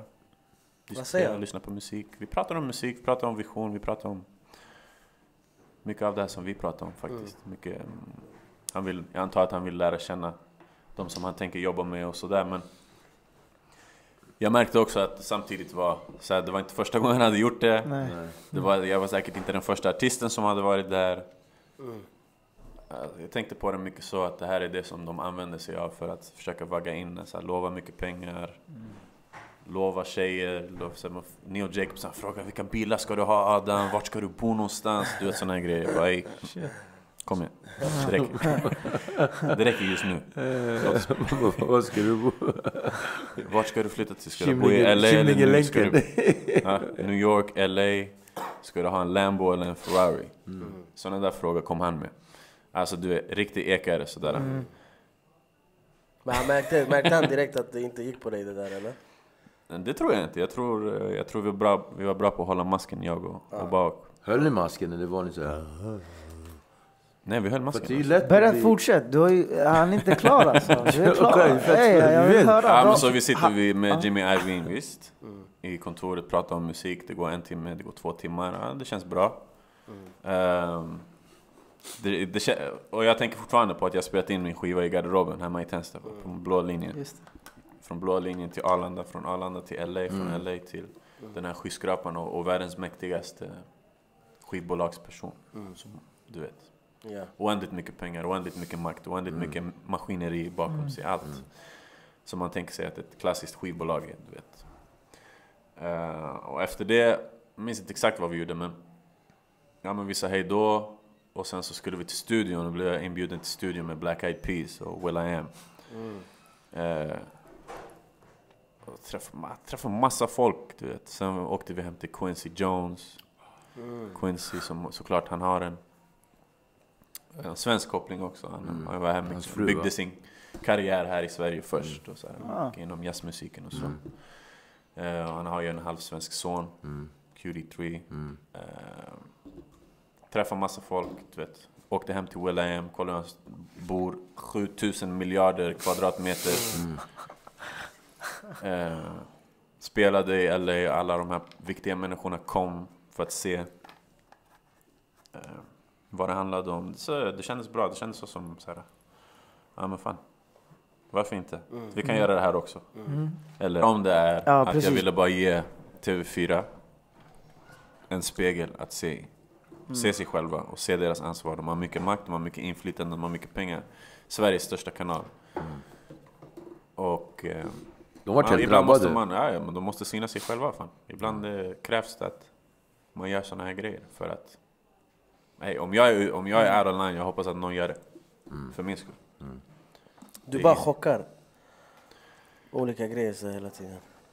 Han bara, inte skåp. Nej, 50 cent, lägg på. TV4. TV4 fuck it. Det är sant. RMH, lägg ner. Så här, som en klackspark. Men eh, så, som, som, vad, fick du för, vad fick du för respons av folket efter det där Adam? Jag tror att det har varit en vattendelare som det heter. Eh, att Vad sa är du? Det har varit? Vatten, Vattendelare. en vattendelare. Moses, är du med? Mm, ja, ja, absolut. Jag förstår. Jag hörde inte vad du sa. Jag förstår. Jag försöker inte säga att jag är Moses. Jag bara, hold up. det, var, Att det var delade ås... det Eh, räcker Viktor. Open up!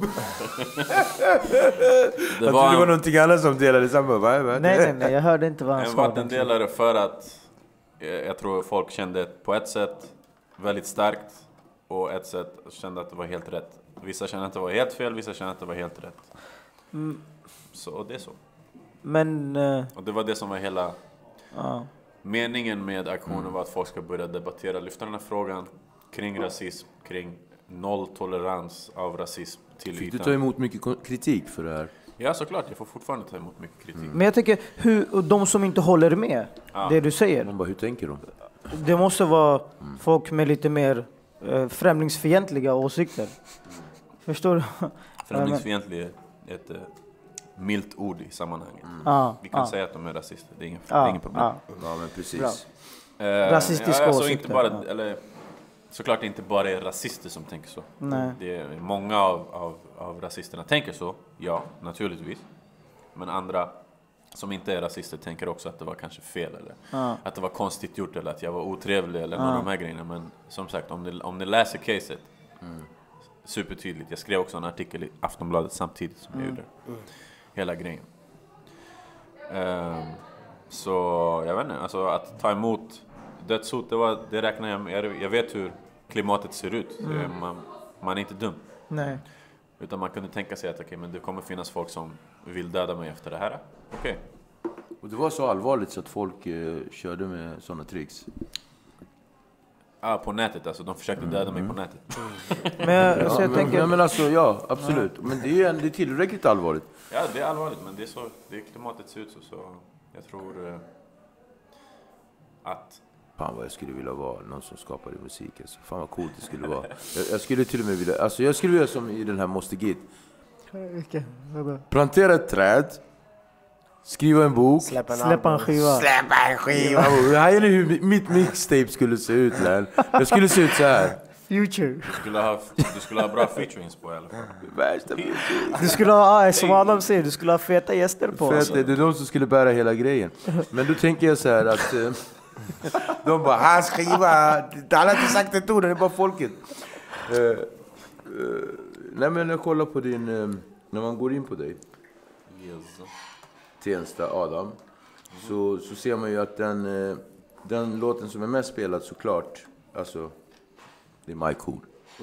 Och vi har ju liksom pratat lite om hur den, eh, alltså har vi ens pratat om hur den kom till? Det vet jag inte. Men vi har pratat Har vi kring pratat om den hur lite den kom till? Har vi det? Nej. När jag spelade in den på min födelsedag, första augusti, I Dalarna va? i Umeå faktiskt, med Nils. Det är Nils som är på, på refrängen. Världens bästa. Ja, och det, och det var också en sån här grej. Att Nils är tjejlös. Jag, jag är min enfald. jag i min enfald har trott att det är värsta kattig brud som har "Nganga, you that." Men, men ni, icke- du är alltså världens bästa. Nils, shoutout till dig. Du vet att när jag ser dig så ska jag verkligen få dig att komma ihåg det här. äh, Bror. Bror! Så jag vet inte, jag hade, jag tror jag hade den produktionen biten på min data i jag tror två månader. Jag visste inte vad jag skulle göra riktigt. Sen en dag så hände det. Ehm, spelade in den. Mm. Och sen så visste jag visste Vart det du var direkt när du hörde beatet så här, shit den här är Nej, nej, bang. nej, jag hade bitet i två månader så jag visste inte. Ah. Alltså det är en knepig grej att, att kläcka någonting, en idé till. Så... Ja, men när den var inspelad, då det då var klart. Jag och Nils körde ner från Umeå. Vi ställde oss vid, bredvid Kungshallen, parkerade Alltså, med bilen. shit. Och då spelade vi upp den för första gången för Babak och Thomas. Jag visste redan från början. Att det var en banger. Ja, ja, ja. Klassiker. Vad sa de? Vad var deras Babak-respons? De sa samma sak, det är, så det är klart det är den här låten. Ja. Normalt. Alltså, och det var ju den, det var den tredje singeln. Banging on the system kom först, sen kom They wanna know. Så allting som vi hade gjort var såhär, okej men... Banging on the system större än någonsin. Hade ni släppt dem båda två innan du gjorde den där? Precis. Så du kom med tredje när du redan hade två singlar ute? Det var då du spelade in Michael? Okej. Precis. För jag hade, jag har, Is Thing var egentligen, den skivan var egentligen ett mixtape från första början. Men sen så, när man kom in i det här nya soundet mer, jag var såhär, egentligen, när jag lyssnade på They Wanna Know först så var det såhär, nej men jag vill inte göra det. Jag var inte i den zonen. Det är också ointressant att- att fråga mig vad mina favoritlåtar är. Ska vi säga vad favorit om mina egna låtar? Eller, Ska vi prata om andras låtar? Det är en annan sak. Men det ska vi också göra. Vi kan börja gå in på... Och, och, ja, men tack för att du ville dela med dig av din skapelse. Tack, Eh, vi becknar det här nu. Ching ching. Eh, andras... Eh, alltså just nu, Mahan brukar vara ganska duktig på, på, på att komma med just den här frågan. Det kommer du med. Alltså, gamet just nu.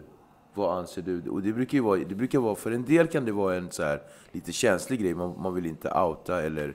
Alltså, Jag gillar Gulets nya Alltså, Gänget. gänget. Han är fett. Bam. och Shouts till Malmö New Wave. våran, eh, finns på våran eh, s- Spin With Us Lista. Spotify spellista Spin With Us. Gå in. Vi har bytt namn på den så ni vet. Så ni vet. Okej men vänta.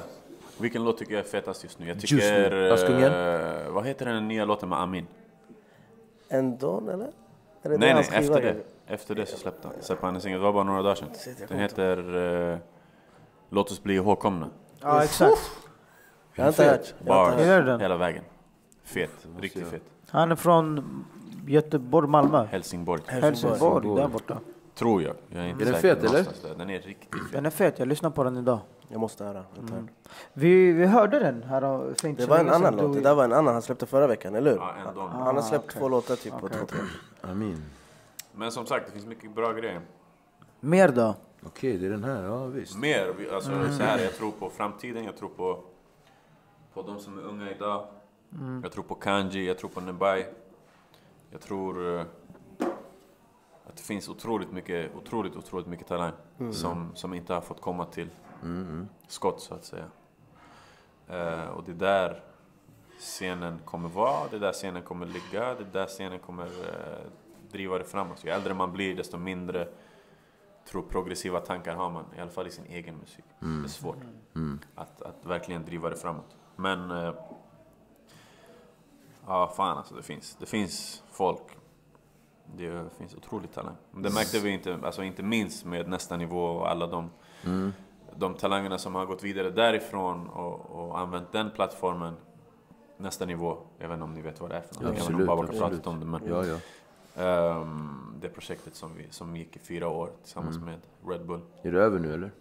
Just nu är det över, sen vet man inte vad, vad nästa grej kommer bli. Men jag tänker på alla de som ansökte varje år. Så folk från Kiruna som skickar in, folk från Ystad som skickar in. Verkligen en bredd.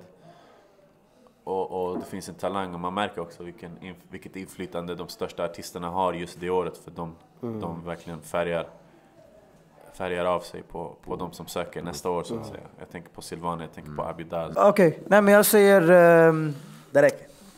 nej, nej, nej, för jag kommer ha rätt här. När vi kollar om en vecka, han säger 2-0. Okej, vi säger, jag säger Ajax vinner 1-0. Show. Jag la den. Kom ihåg vad ni, vad Viktor, ni hörde det Hammarby först. spelar inte den här matchen, skitsamma. Han är fett kaxig. Vet du varför han är så stöddig? Det är för att han sitter där borta. Hey, har Hammarby varit i Champions League nu? Har de? Ja. De har det faktiskt. Ja. Nej. Jo. Nej. nej, nej, nej. Jag Men tror det nej, nej. Men vänta, stopp! Vänta, har ni fått för mig Det er att är Helsingborg. Det var? Helsingborg. Bror, jag är AIK-are! Det är den här läggaren som lägger. Varför lägger du så mycket? Det är lätt att bli carried away faktiskt. Men, men Adam, det där var en uh, kuggfråga eller? Äh, Men Du har vet de- att har de de inte har vunnit. Nej, De, vunnit. de, nej, varit med. Varit med i Champions Hammarby League. har aldrig spelat i Champions Nej, League. Det är med Nej, jag är Helsingborg ett helt par gånger. Jag är inte helt säker. Alltså, jag kan- jag- Faktiskt, jag är lite osäker är också, lite men det kan, det kan vara Uefa Vänta, är inte bara. det sjukt ifall Hammarby har spelat i Champions League? Nej, men- bror. Ganska nej. sjukt. Sjukt. Vem fingrade snabbast? Har... Har Bayern. Skriv Bayern. Eh, Spela Champions League. Våran podd, eh, Självklart inte. Alltså, självklart.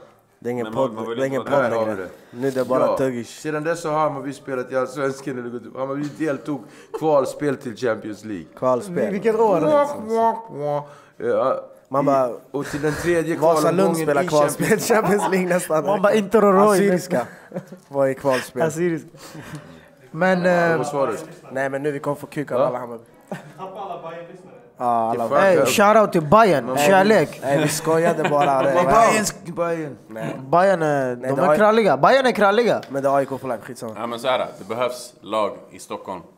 För att bära, eller, inte bara i Stockholm men såklart. Det behövs rivalitet för att bära någonting framåt. Absolut. Självklart. Så är det. Inom Rinkeby sport. United? Tensta United är på väg, Rinkeby Är du United. Djurgården? Vad är du? Assyriska va? Vad är det med jag vet inte. Alla, jag har varit AIK sen min pappa hade en pizzeria i Råsunda. Bredvid. pappa- Min pappa hade en pizzeria i Råsunda och sen eh, kom alla de där grabbarna, Pascal och grabbarna. Och... Pascal och grabbarna. Hörde ni, hörde ni hur jag sa det? Som att jag känner honom. Pascal, och Var inte grabbarna. den där flintskallen med stor Pascal panna? Simpson. Kan inte ni bjuda hit Pascal, jag ber dig? På, på ett, en intervju med Nimos. Thomas Brolin då bror? Varför bror? Avvakta. Pascal. Pascal Simpson. Hur får vi ens... Vem är han ens? Jag kommer bara ihåg hans Pascal namn. Det- det- Simpson, är AIK. Det är det. Han är den enda flöjten jag kommer ihåg. Pascal. En av, de, en av de första svarta spelarna i Faktiskt. Allsvenskan. Är det så? Alltså, ja. Viktig, viktig men person. Vad är shunon? Pascal, var är du? Jag kommer ihåg han från eh, Fifa 98 bara. Ja, AIK namn. Du vet. Det var därför du visste. Nej, jag kan komma ihåg Jag kommer ihåg han lite grann. Uh, Jag summa, ihåg... summa summarum. Ja man. Nej men det var antingen Fotboll är eh, viktigt. det är AIK eller Elfsborg. Alltså där är också väldigt, och det känns som att Göteborg också är, är, är i en så här movement. Det är en våg. Hela jävla Sverige är i en våg. skitbra att du Hela- nämnde dem i andra städer också, inte och, bara och, det, Stockholm. och det är lite sådär jag jobbar just Men nu. det sa vi också tänker- förra avsnittet med Uppsala har jävligt många. Uppsala, precis. Uppsala har ju sin den här lite happy, happy things them there. Eh, Vi pratar liksom labyrint som, som, som levererar varje gång. Typ Shoutout till dem allihopa och Danny M också som jag fick äran, vi fick äran att vara på spelning där på båten, som fick mig att ändra uppfattning om just Danny M. Och eh, vi ska inte liksom förringa kvinnorna och tjejerna i det här gamet. Linda Pira, boom! Ja, Queen man. of them all. Eh, vi har Blen, vi har Kumba. Alltså vad har vi mer? Alltså vi har Cleo, vi har Anna Diaz, alltså Savina Sherry. Dumba, vi har Sherry. Alltså jag kan hålla på. Och då kommer jag in i det här att jag ska försöka förklara allt det här. För då, då blir det plötsligt inte bara hiphop, utan men det blir för mig musik. Och musiken i Sverige, men framförallt hiphopen, är liksom... Hiphopen har blivit så här rumsrent. Och jag blir så glad, för det, det är liksom... Att nu Malou, Malou kan hämta hiphopartister, det är ganska nice. Och- Men det är samtidigt det där... Du skrattar, men jo, alltså... men kolla det är lite det där som vi ändå vi pratade om på med Linda och med, med Danny och dem att Även om de går till Malou, de frågar ju bara så här, men Andra saker. men inte mot exakt. Malou nu eller men alla de här, vad det nu heter, att typ såhär Ja men Hur är du det är att ju från från Rinkeby, Förorten, ja. hur, så här, hur känns det att ha vunnit en Grammis när du är där? Eller hur känns det, din uppväxt var ju tuff, alltså förstår du? Eh, Ja, när Men jag Sherry var du- där, Ja. då, Linda sa ju det, de nämnde inte en enda grej om hennes uh, hennes Grammis. musik typ. och hennes Ja. att hon var Grammis, det var mer Jättetråkigt. Men eh, det är ändå, du Det, är på det är framsteg, och det är det jag försöker säga att förhoppningsvis i en perfekt värld, eller i ett perfekt Sverige, så kommer det liksom... Bara det som Stor sa, shoutout till Stor också. Eh, det här med Grammis, att det ska finnas de här kategorierna. Men då, kommer- då måste vi liksom förändra in i etablissemanget. Men någonstans, det ska ju liksom finnas priser för En- hiphop. enbart och hiphop, Enbart, liksom. enbart för hiphop, enbart Soul. för soul R&B.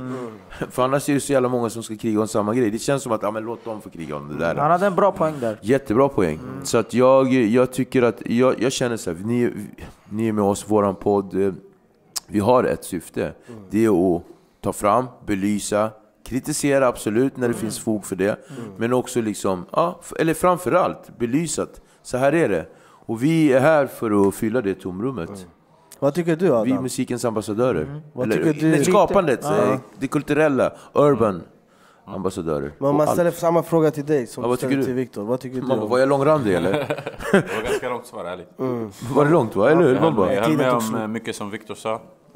Mm, och jag tycker att Sverige befinner sig Ja, men det var det- det som fanns. och det som fanns, det fick Men det uppmärksammades också. Precis. Det var det. Ja. Ehm, så det hände mycket i den vevan också. Gällande skivbolag, det var så här, Youtube var nytt, typ Spotify fanns inte. Just det. Skivbolagen visste inte hur de skulle hantera någonting. Just det. Och sen helt plötsligt från ingenstans så kom det folk som bara, du vet, drev upp hela lyssnarskaran själva på något sätt. Via olika saker, MySpace, Youtube och etc. Så Ja, exakt, jag tror det det var, ja. Det var en mycket sp- spännande tid alltså. Nu är det, det här är en helt annan sak. Det Det är helt etablerat och Det man vet att man har alla, alla, alla låtar på demand. Liksom. Man kan bara säga, okay, men jag har Kän- alla världens låtar på Spotify. nu. Det känns lite bekvämt nu, fast ändå... Ja. Inte, det, är svårt, det är svårt idag också. Svårare, andra saker att Mm. tänka på och ha i, i åtanke tror jag. Mm. Hur slår man sig igenom bruset kanske? Förut så var det, men hur slår man sig igenom överhuvudtaget? Mm. Eftersom ingen öppnade dörren och man fick göra allting du vet, själv. Men Adam, du berättade också om... Eh, du pratade om eh, musik Mm. och ditt stora intresse. Var det basket eller fotboll? Det finns många stora intressen, så det var det som var grejen också. Men jag tänkte det som typ höll dig borta från, du vet, mindre bra, bra dåliga saker och höll dig fokuserad på vet, det som är bra. Som inte, så du inte hamnade liksom, ja, dåliga väg. Ja, exakt. Mm, jag vet inte om det... Jag tror inte jag har sett mig själv som eh, har funnits i, i, i någon form av riskzon eller farozoner för det. Dock så vet jag att det bara krävs några felaktiga val eller så här, okay, men låt mig hänga med boysen här borta. Vad gör de för någonting? Så då kan det gå fel. Och plötsligt så kan man vara där, i den där cirkeln som man kanske inte borde vara eller... Och inte kan se det heller, du vet. För att man är för ung eller man... Men jag tänker på många som inte har en hobby eller ett intresse. Då är det väldigt lätt att hamna fel. Man, ja, det är Det det. är det som är hela grejen. att, att, att prata om sina drömmar, att ha drömmar nummer ett såklart. Att våga prata om sina drömmar för att så här, du vet, skicka ut tentaklerna. Vilka känner som jag, vilka vill vara med och försöka göra någonting. Grymt. Istället för att, bara, du vet, om jag inte hade pratat om dröm, då hade ingen vetat om det. Nej. Om ingen hade vetat om det så hade jag inte varit här. Det är ganska enkelt att se. Pratar man om saker, ser man saker framför sig, diskuterar det, tänker på det, vrider, vänder. Då är det mycket större chans att det kommer hända till slut. Det är ju det som lite du nämnde, vi- lite, lite man kommer in på eh, laws of attraction. Du Så. Positivt tänkande där, men då kommer det till slut. Men det är så, det är därför ambitiösa människor hänger med ambitiösa människor. Slutmänniskor hänger med slutmänniskor. Det är lätt att se. Det är jävligt sant. Det jag tänker på är så här, jag vet inte om det hörs. Eh, har du alltid varit, du känns ju väldigt, vad ska jag kalla, vad ska jag hämta för ord nu? Hela gårdens mamma kändes det som. Och jag, jag kommer ihåg sist jag träffade henne så hon sa, men hur är det med dig? På, alltså så här, hon var ju så glad att se mig, hon hade inte sett mig på jättelänge och sist hon såg mig mådde inte jag så bra. Fysiskt, känslomässigt eller själsligen. Och nu när hon såg mig så på dopet där, tack för inbjudan förresten, det har jag sagt förut, men nu Varsågod. så var det verkligen. Hon, men- hon bara, men wow vad kul att se dig, hur är det med dig? Och liksom gav mig den stunden. Och det är liksom det som hon någonstans har fört över till dig. Den förälder jag känner du är idag är liksom från din mamma. Alltså, får jag säga så eller? Tro- jag tror att den föräldern jag är kommer från många saker också. Såklart också från mamma. Men hon hade den förmågan som du säger. Att jag tror se folk och sådär. På något sätt. Alltid genuin. Jag vet inte. Det är svårt att förklara. Det är svårt också att ha en sån person. Eller det, det är svårt att ha perspektiv för att se en sån person som alltid har varit med och så på nära håll. Att det är som en högre hand eller som en skugga alltid, du vet, på något sätt. Och så var hon också till, till, till rap game i Sverige. Hon var supportade, du vet. Supportade Absolut, alla, exakt. likade alla grejer, delade alla grejer. Exakt. Ehm, inte alla grejer Jenny, men de grejerna som hon gillade. Ja men precis, och det, det är också väldigt viktigt att poängtera att, att hon, hon backade ju dig och dina vänner. Det var, det, var ju någon lojalitet gentemot dig som människa och alla andra som fanns alltså, eh, ja, i området. Jo, men hon var också, jag tror, eh, jävligt observant. Och Det behövde inte vara RMH-relaterat för att Nej. hon skulle supporta, såklart. 100% men hon var, så här, hon var ju hype och så här, men hon kunde ringa mig ibland och säga "Men har du hört den här nya låten från den här och den här artisten? Jag bara, nej jag har inte hört den men jag ska, jag ska lyssna. Och så, där, så hon var verkligen eh, Mamma hängde med. Mamma var med hängde med. gamet, definitivt. Så hur kom du in på skrivande? Berätta, ge oss lite försmak av Adam Tensta. Vad hette du liksom? Har du alltid hetat Adam Tensta? Nej, jag hette ADM för länge sedan. Alltså, mm, innan dess att jag, jag hade inte ens, du vet, man var för ung för att ha ett namn egentligen. Man tänkte inte så långt. Jag tror bara att jag, jag tyckte att det var intressant att skriva och jag tyckte att det var intressant att hänga med, med personer som kände samma sak som mig. Samma sak var intressant att spela fotboll och hänga med de personerna, spela tv-spel, gå på vår teater, sådana här grejer. Det fanns många olika parallella intressen och jag tror inte att jag kom in just på skrivandet förrän ganska sent. Alltså. Högstadiet, gymnasiet, runt den här tiden. Eh, så jag vet inte. När jag började vilja, vilja skriva, skriva ner min historia var det just bara av den anledningen. Hiphop fanns tillgängligt. Jag har lyssnat mycket på det, blivit tvingad att lyssna på det av min brorsa, Mobb Deep, Nas, Wu-Tang, alla de här grejerna. New York, alltså golden era av hiphop kan man väl säga. Eh, men sen ville jag bara skriva min egen historia. Jag tyckte att det var viktigt och jag tyckte att det kontor. Vilket det också är såklart, det är hela hans byggnad. Men vi kommer till kontoret så jag ser här, okej men det är Jimmy Iovine med Michael Jordan, Jimmy Iovine med Michael Jackson, ett brev från Tupac. En, alltså, Alltså. du vet, ganska overklig, overkliga sammanhang, Wow. ikoner som man ser upp till, eh, eller som man åtminstone vet mycket om. Eh, Som har varit som ledstjärnor i, i populärkulturen, inom sport och, och, och, och kultur så att säga. Eh, Så från en gömd dörr i väggen så kommer han ut så här. Vi tror att vi sitter i kontoret, som är det innersta kontoret i världen. Ni förstår? Världens största skivbolag, Ja. hiphop, epicentrum, verkligen. Så kommer han ut från en gömd dörr. Och då blir vi inbjudna till den innersta, Den innersta, innersta Shit. dörren. Eh, Så sitter jag där med Jimmy Iovine, pratar, diskuterar, lyssnar på musik. Vi pratar om musik, vi pratar om vision, vi pratar om mycket av det här som vi pratar om faktiskt. Mm. Mycket, mm, Han vill, jag antar att han vill lära känna de som han tänker jobba med och sådär men jag märkte också att samtidigt var så här, det var inte första gången han hade gjort det. Nej. det var, jag var säkert inte den första artisten som hade varit där. Eh, Jag tänkte på det mycket så att det här är det som de använder sig av för att försöka vagga in så här, lova mycket pengar. Lova tjejer, lova, så här, man- Neo Jacobs han frågar vilka bilar ska du ha Adam? Vart ska du bo någonstans? Du vet sådana här grejer. Jag Bara, "Ey, kom igen, det räcker. Det räcker just nu. Oss- Vad ska du bo? Vart ska du flytta till? Ska du bo i LA eller nu? Ska du, ja, New York, LA? Ska du ha en Lambo eller en Ferrari? Sådana där frågor kom han med.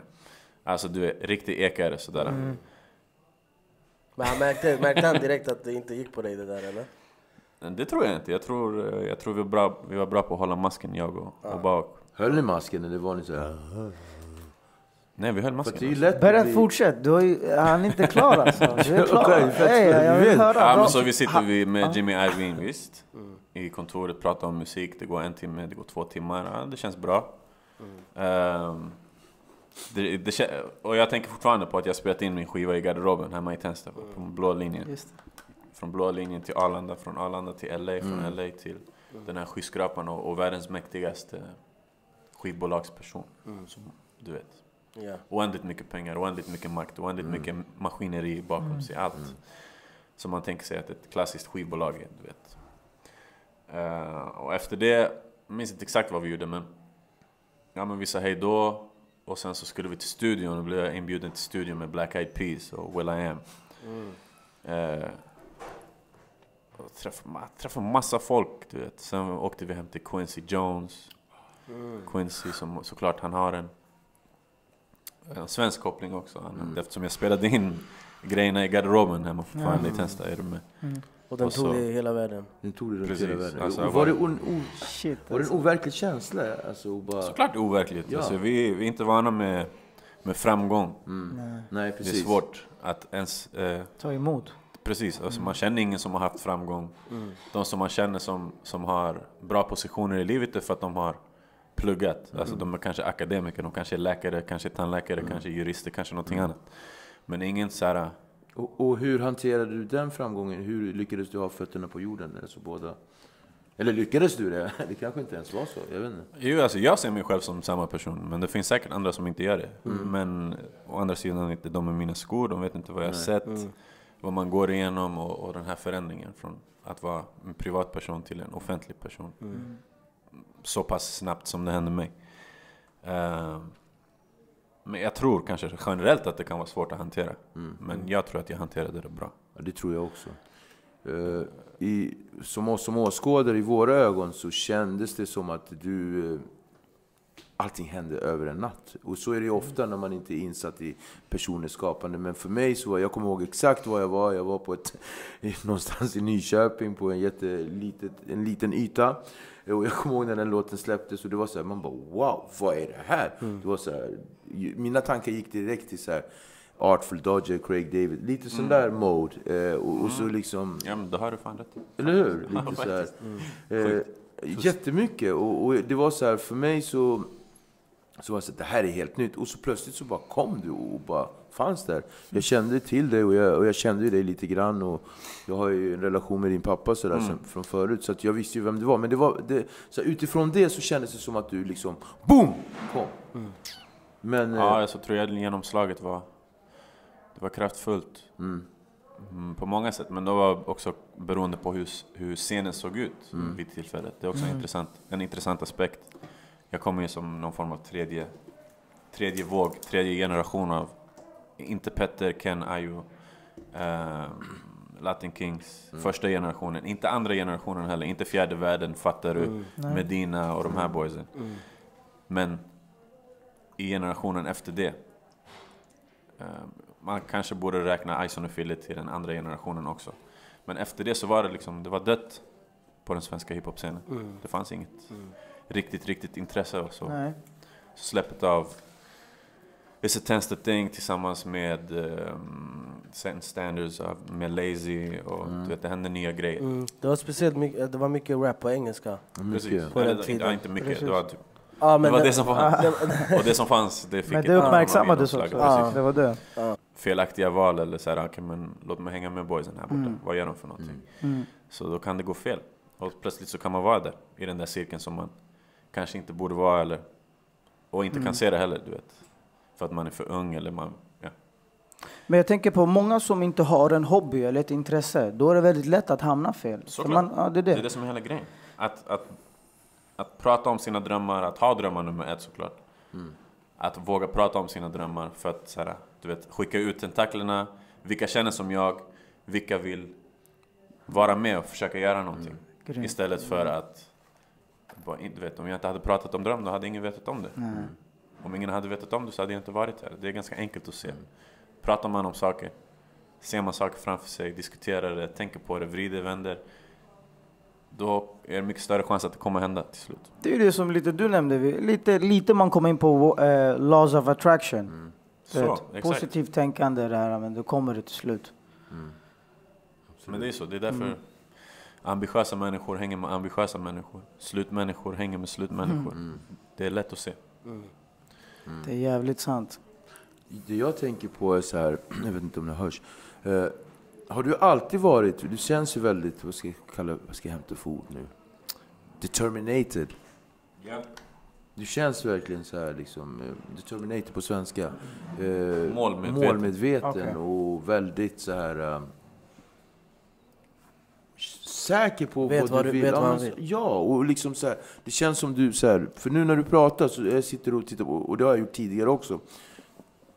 Det känns som du verkligen har liksom en eh, punkt till det du Mm. vill säga. Och i det du vill säga så känns det som du liksom målar upp den i din hjärna. Det känns som du har liksom saker och ting. Har det alltid varit så, ända sedan du var ung? Att du har liksom haft saker och ting eh, klart och tydligt?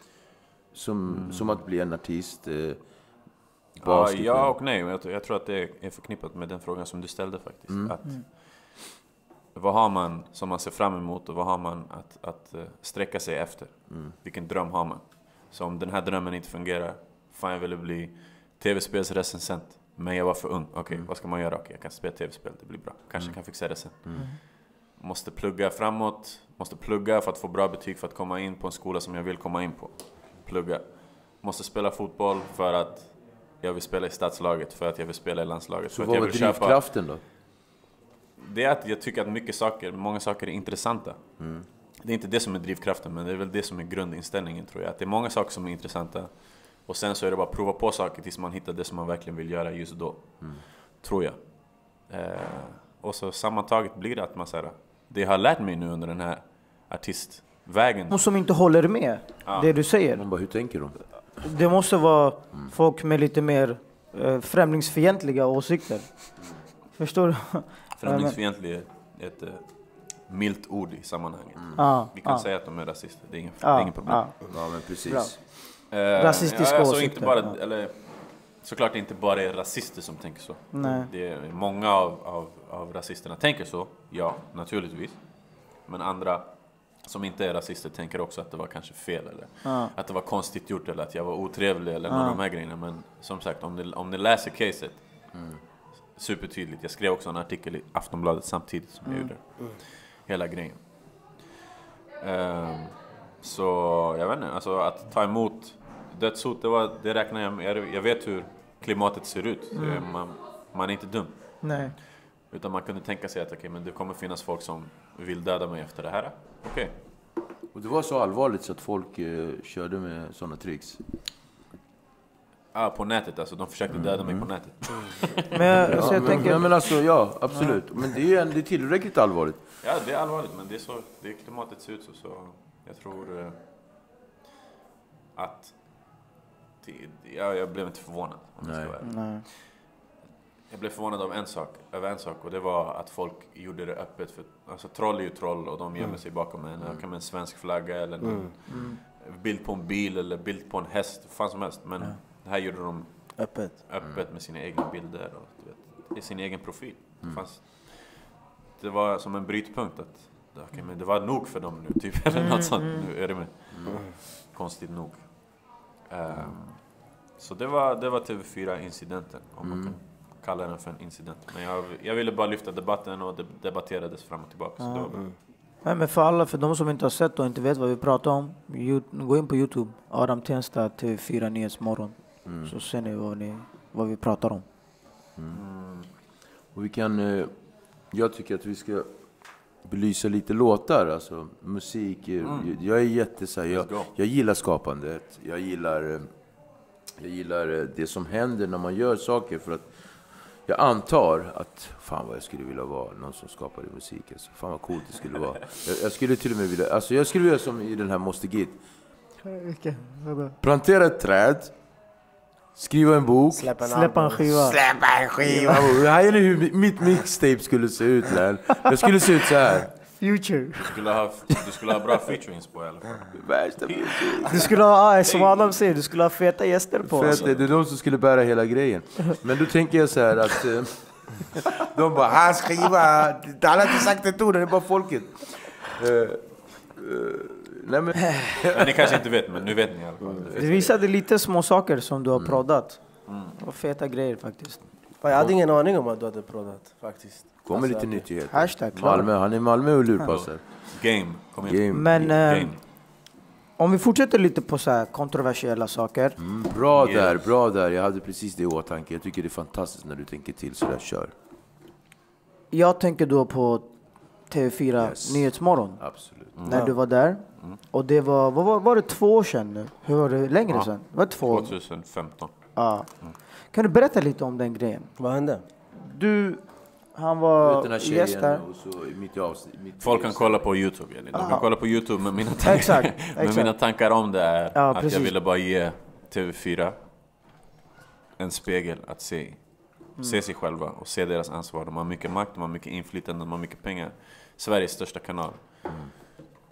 Och... Eh, De var ja, helt ibland måste drabbade. man, ja, ja, men de måste syna sig själva. Fan. Ibland eh, krävs det att man gör såna här grejer för att... Nej, om jag, är, om jag är out online, jag hoppas att någon gör det. För min skull. Du Det bara är- chockar. Olika grejer så hela tiden. Han bara, inte skåp. Nej, 50 cent, lägg på. TV4.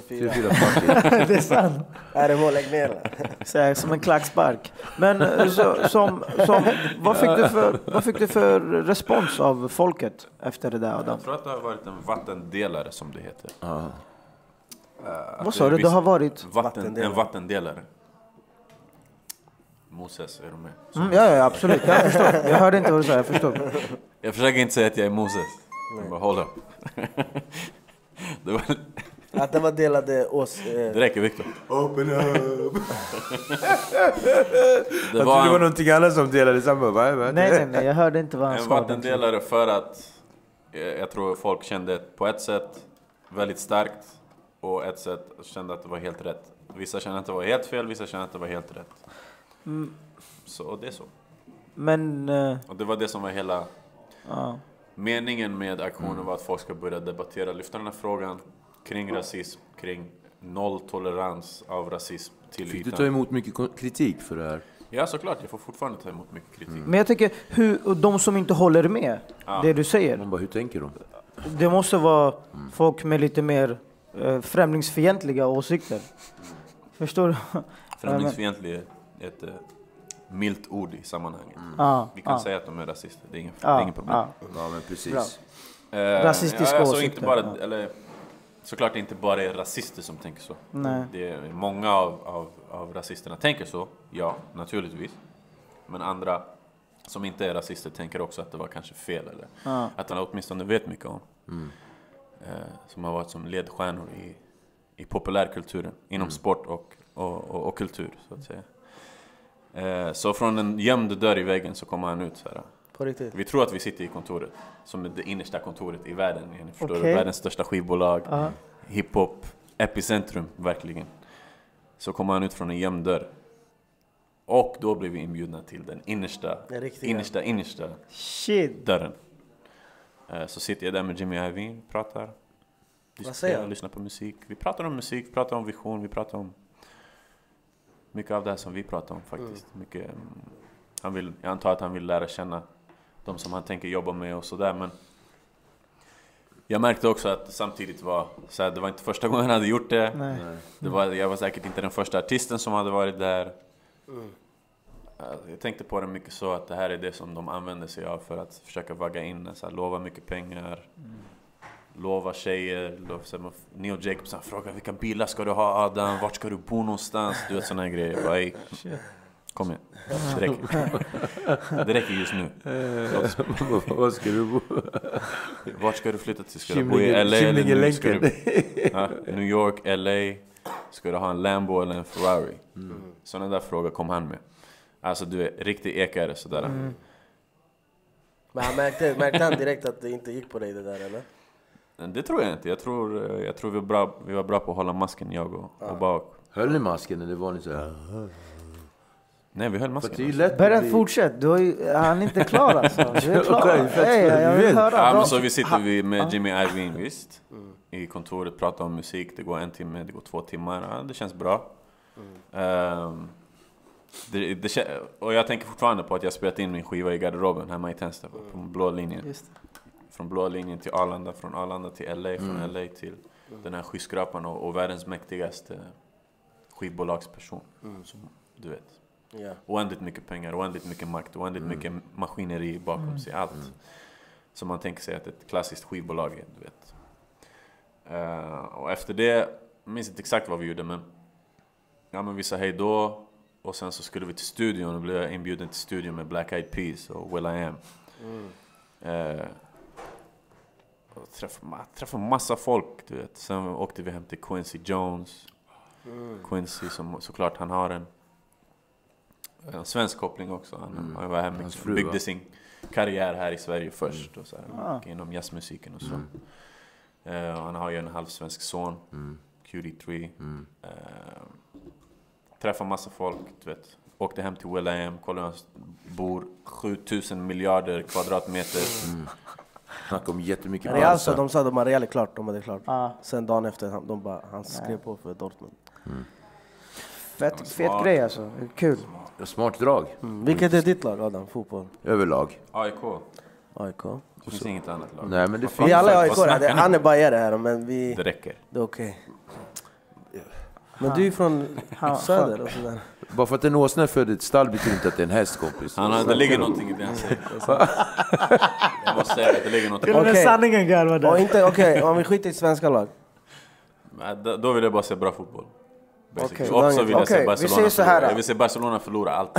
Tack. Men när det, här avslut, när det här avsnittet släpps, då har eh, Europa League-finalen varit. Manchester, United, har tagit Det det. blev tre till Manchester. mot Ja, det är klart. Manchester Det blev mot... tre till Manchester. Utan Zlatan. Lägg av, vad säger lägg av, lägg av. men- Mot Ajax. Vad 2-0 tror du 2-0 Alex? till United.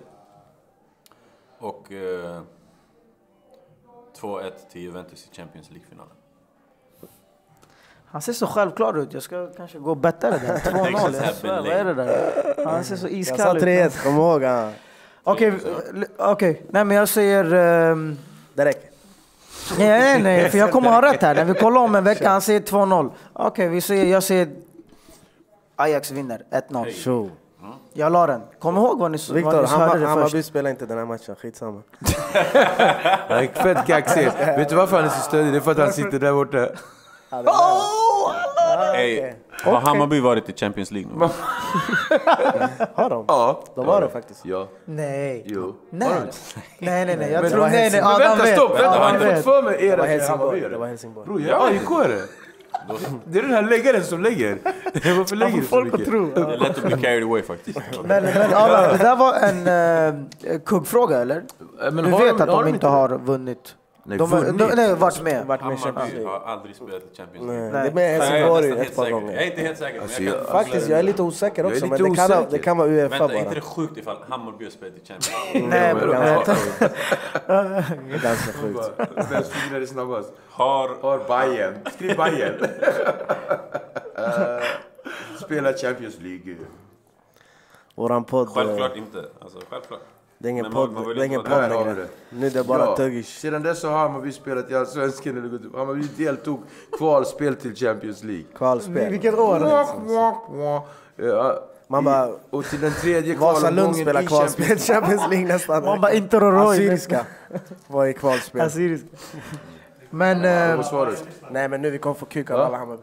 Tappa alla Bajen-lyssnare. Ja, alla hey, shoutout till Bayern. Kärlek. Nej vi skojade bara. Bayern. Nej. Bayern, Nej, de är kralliga. Bayern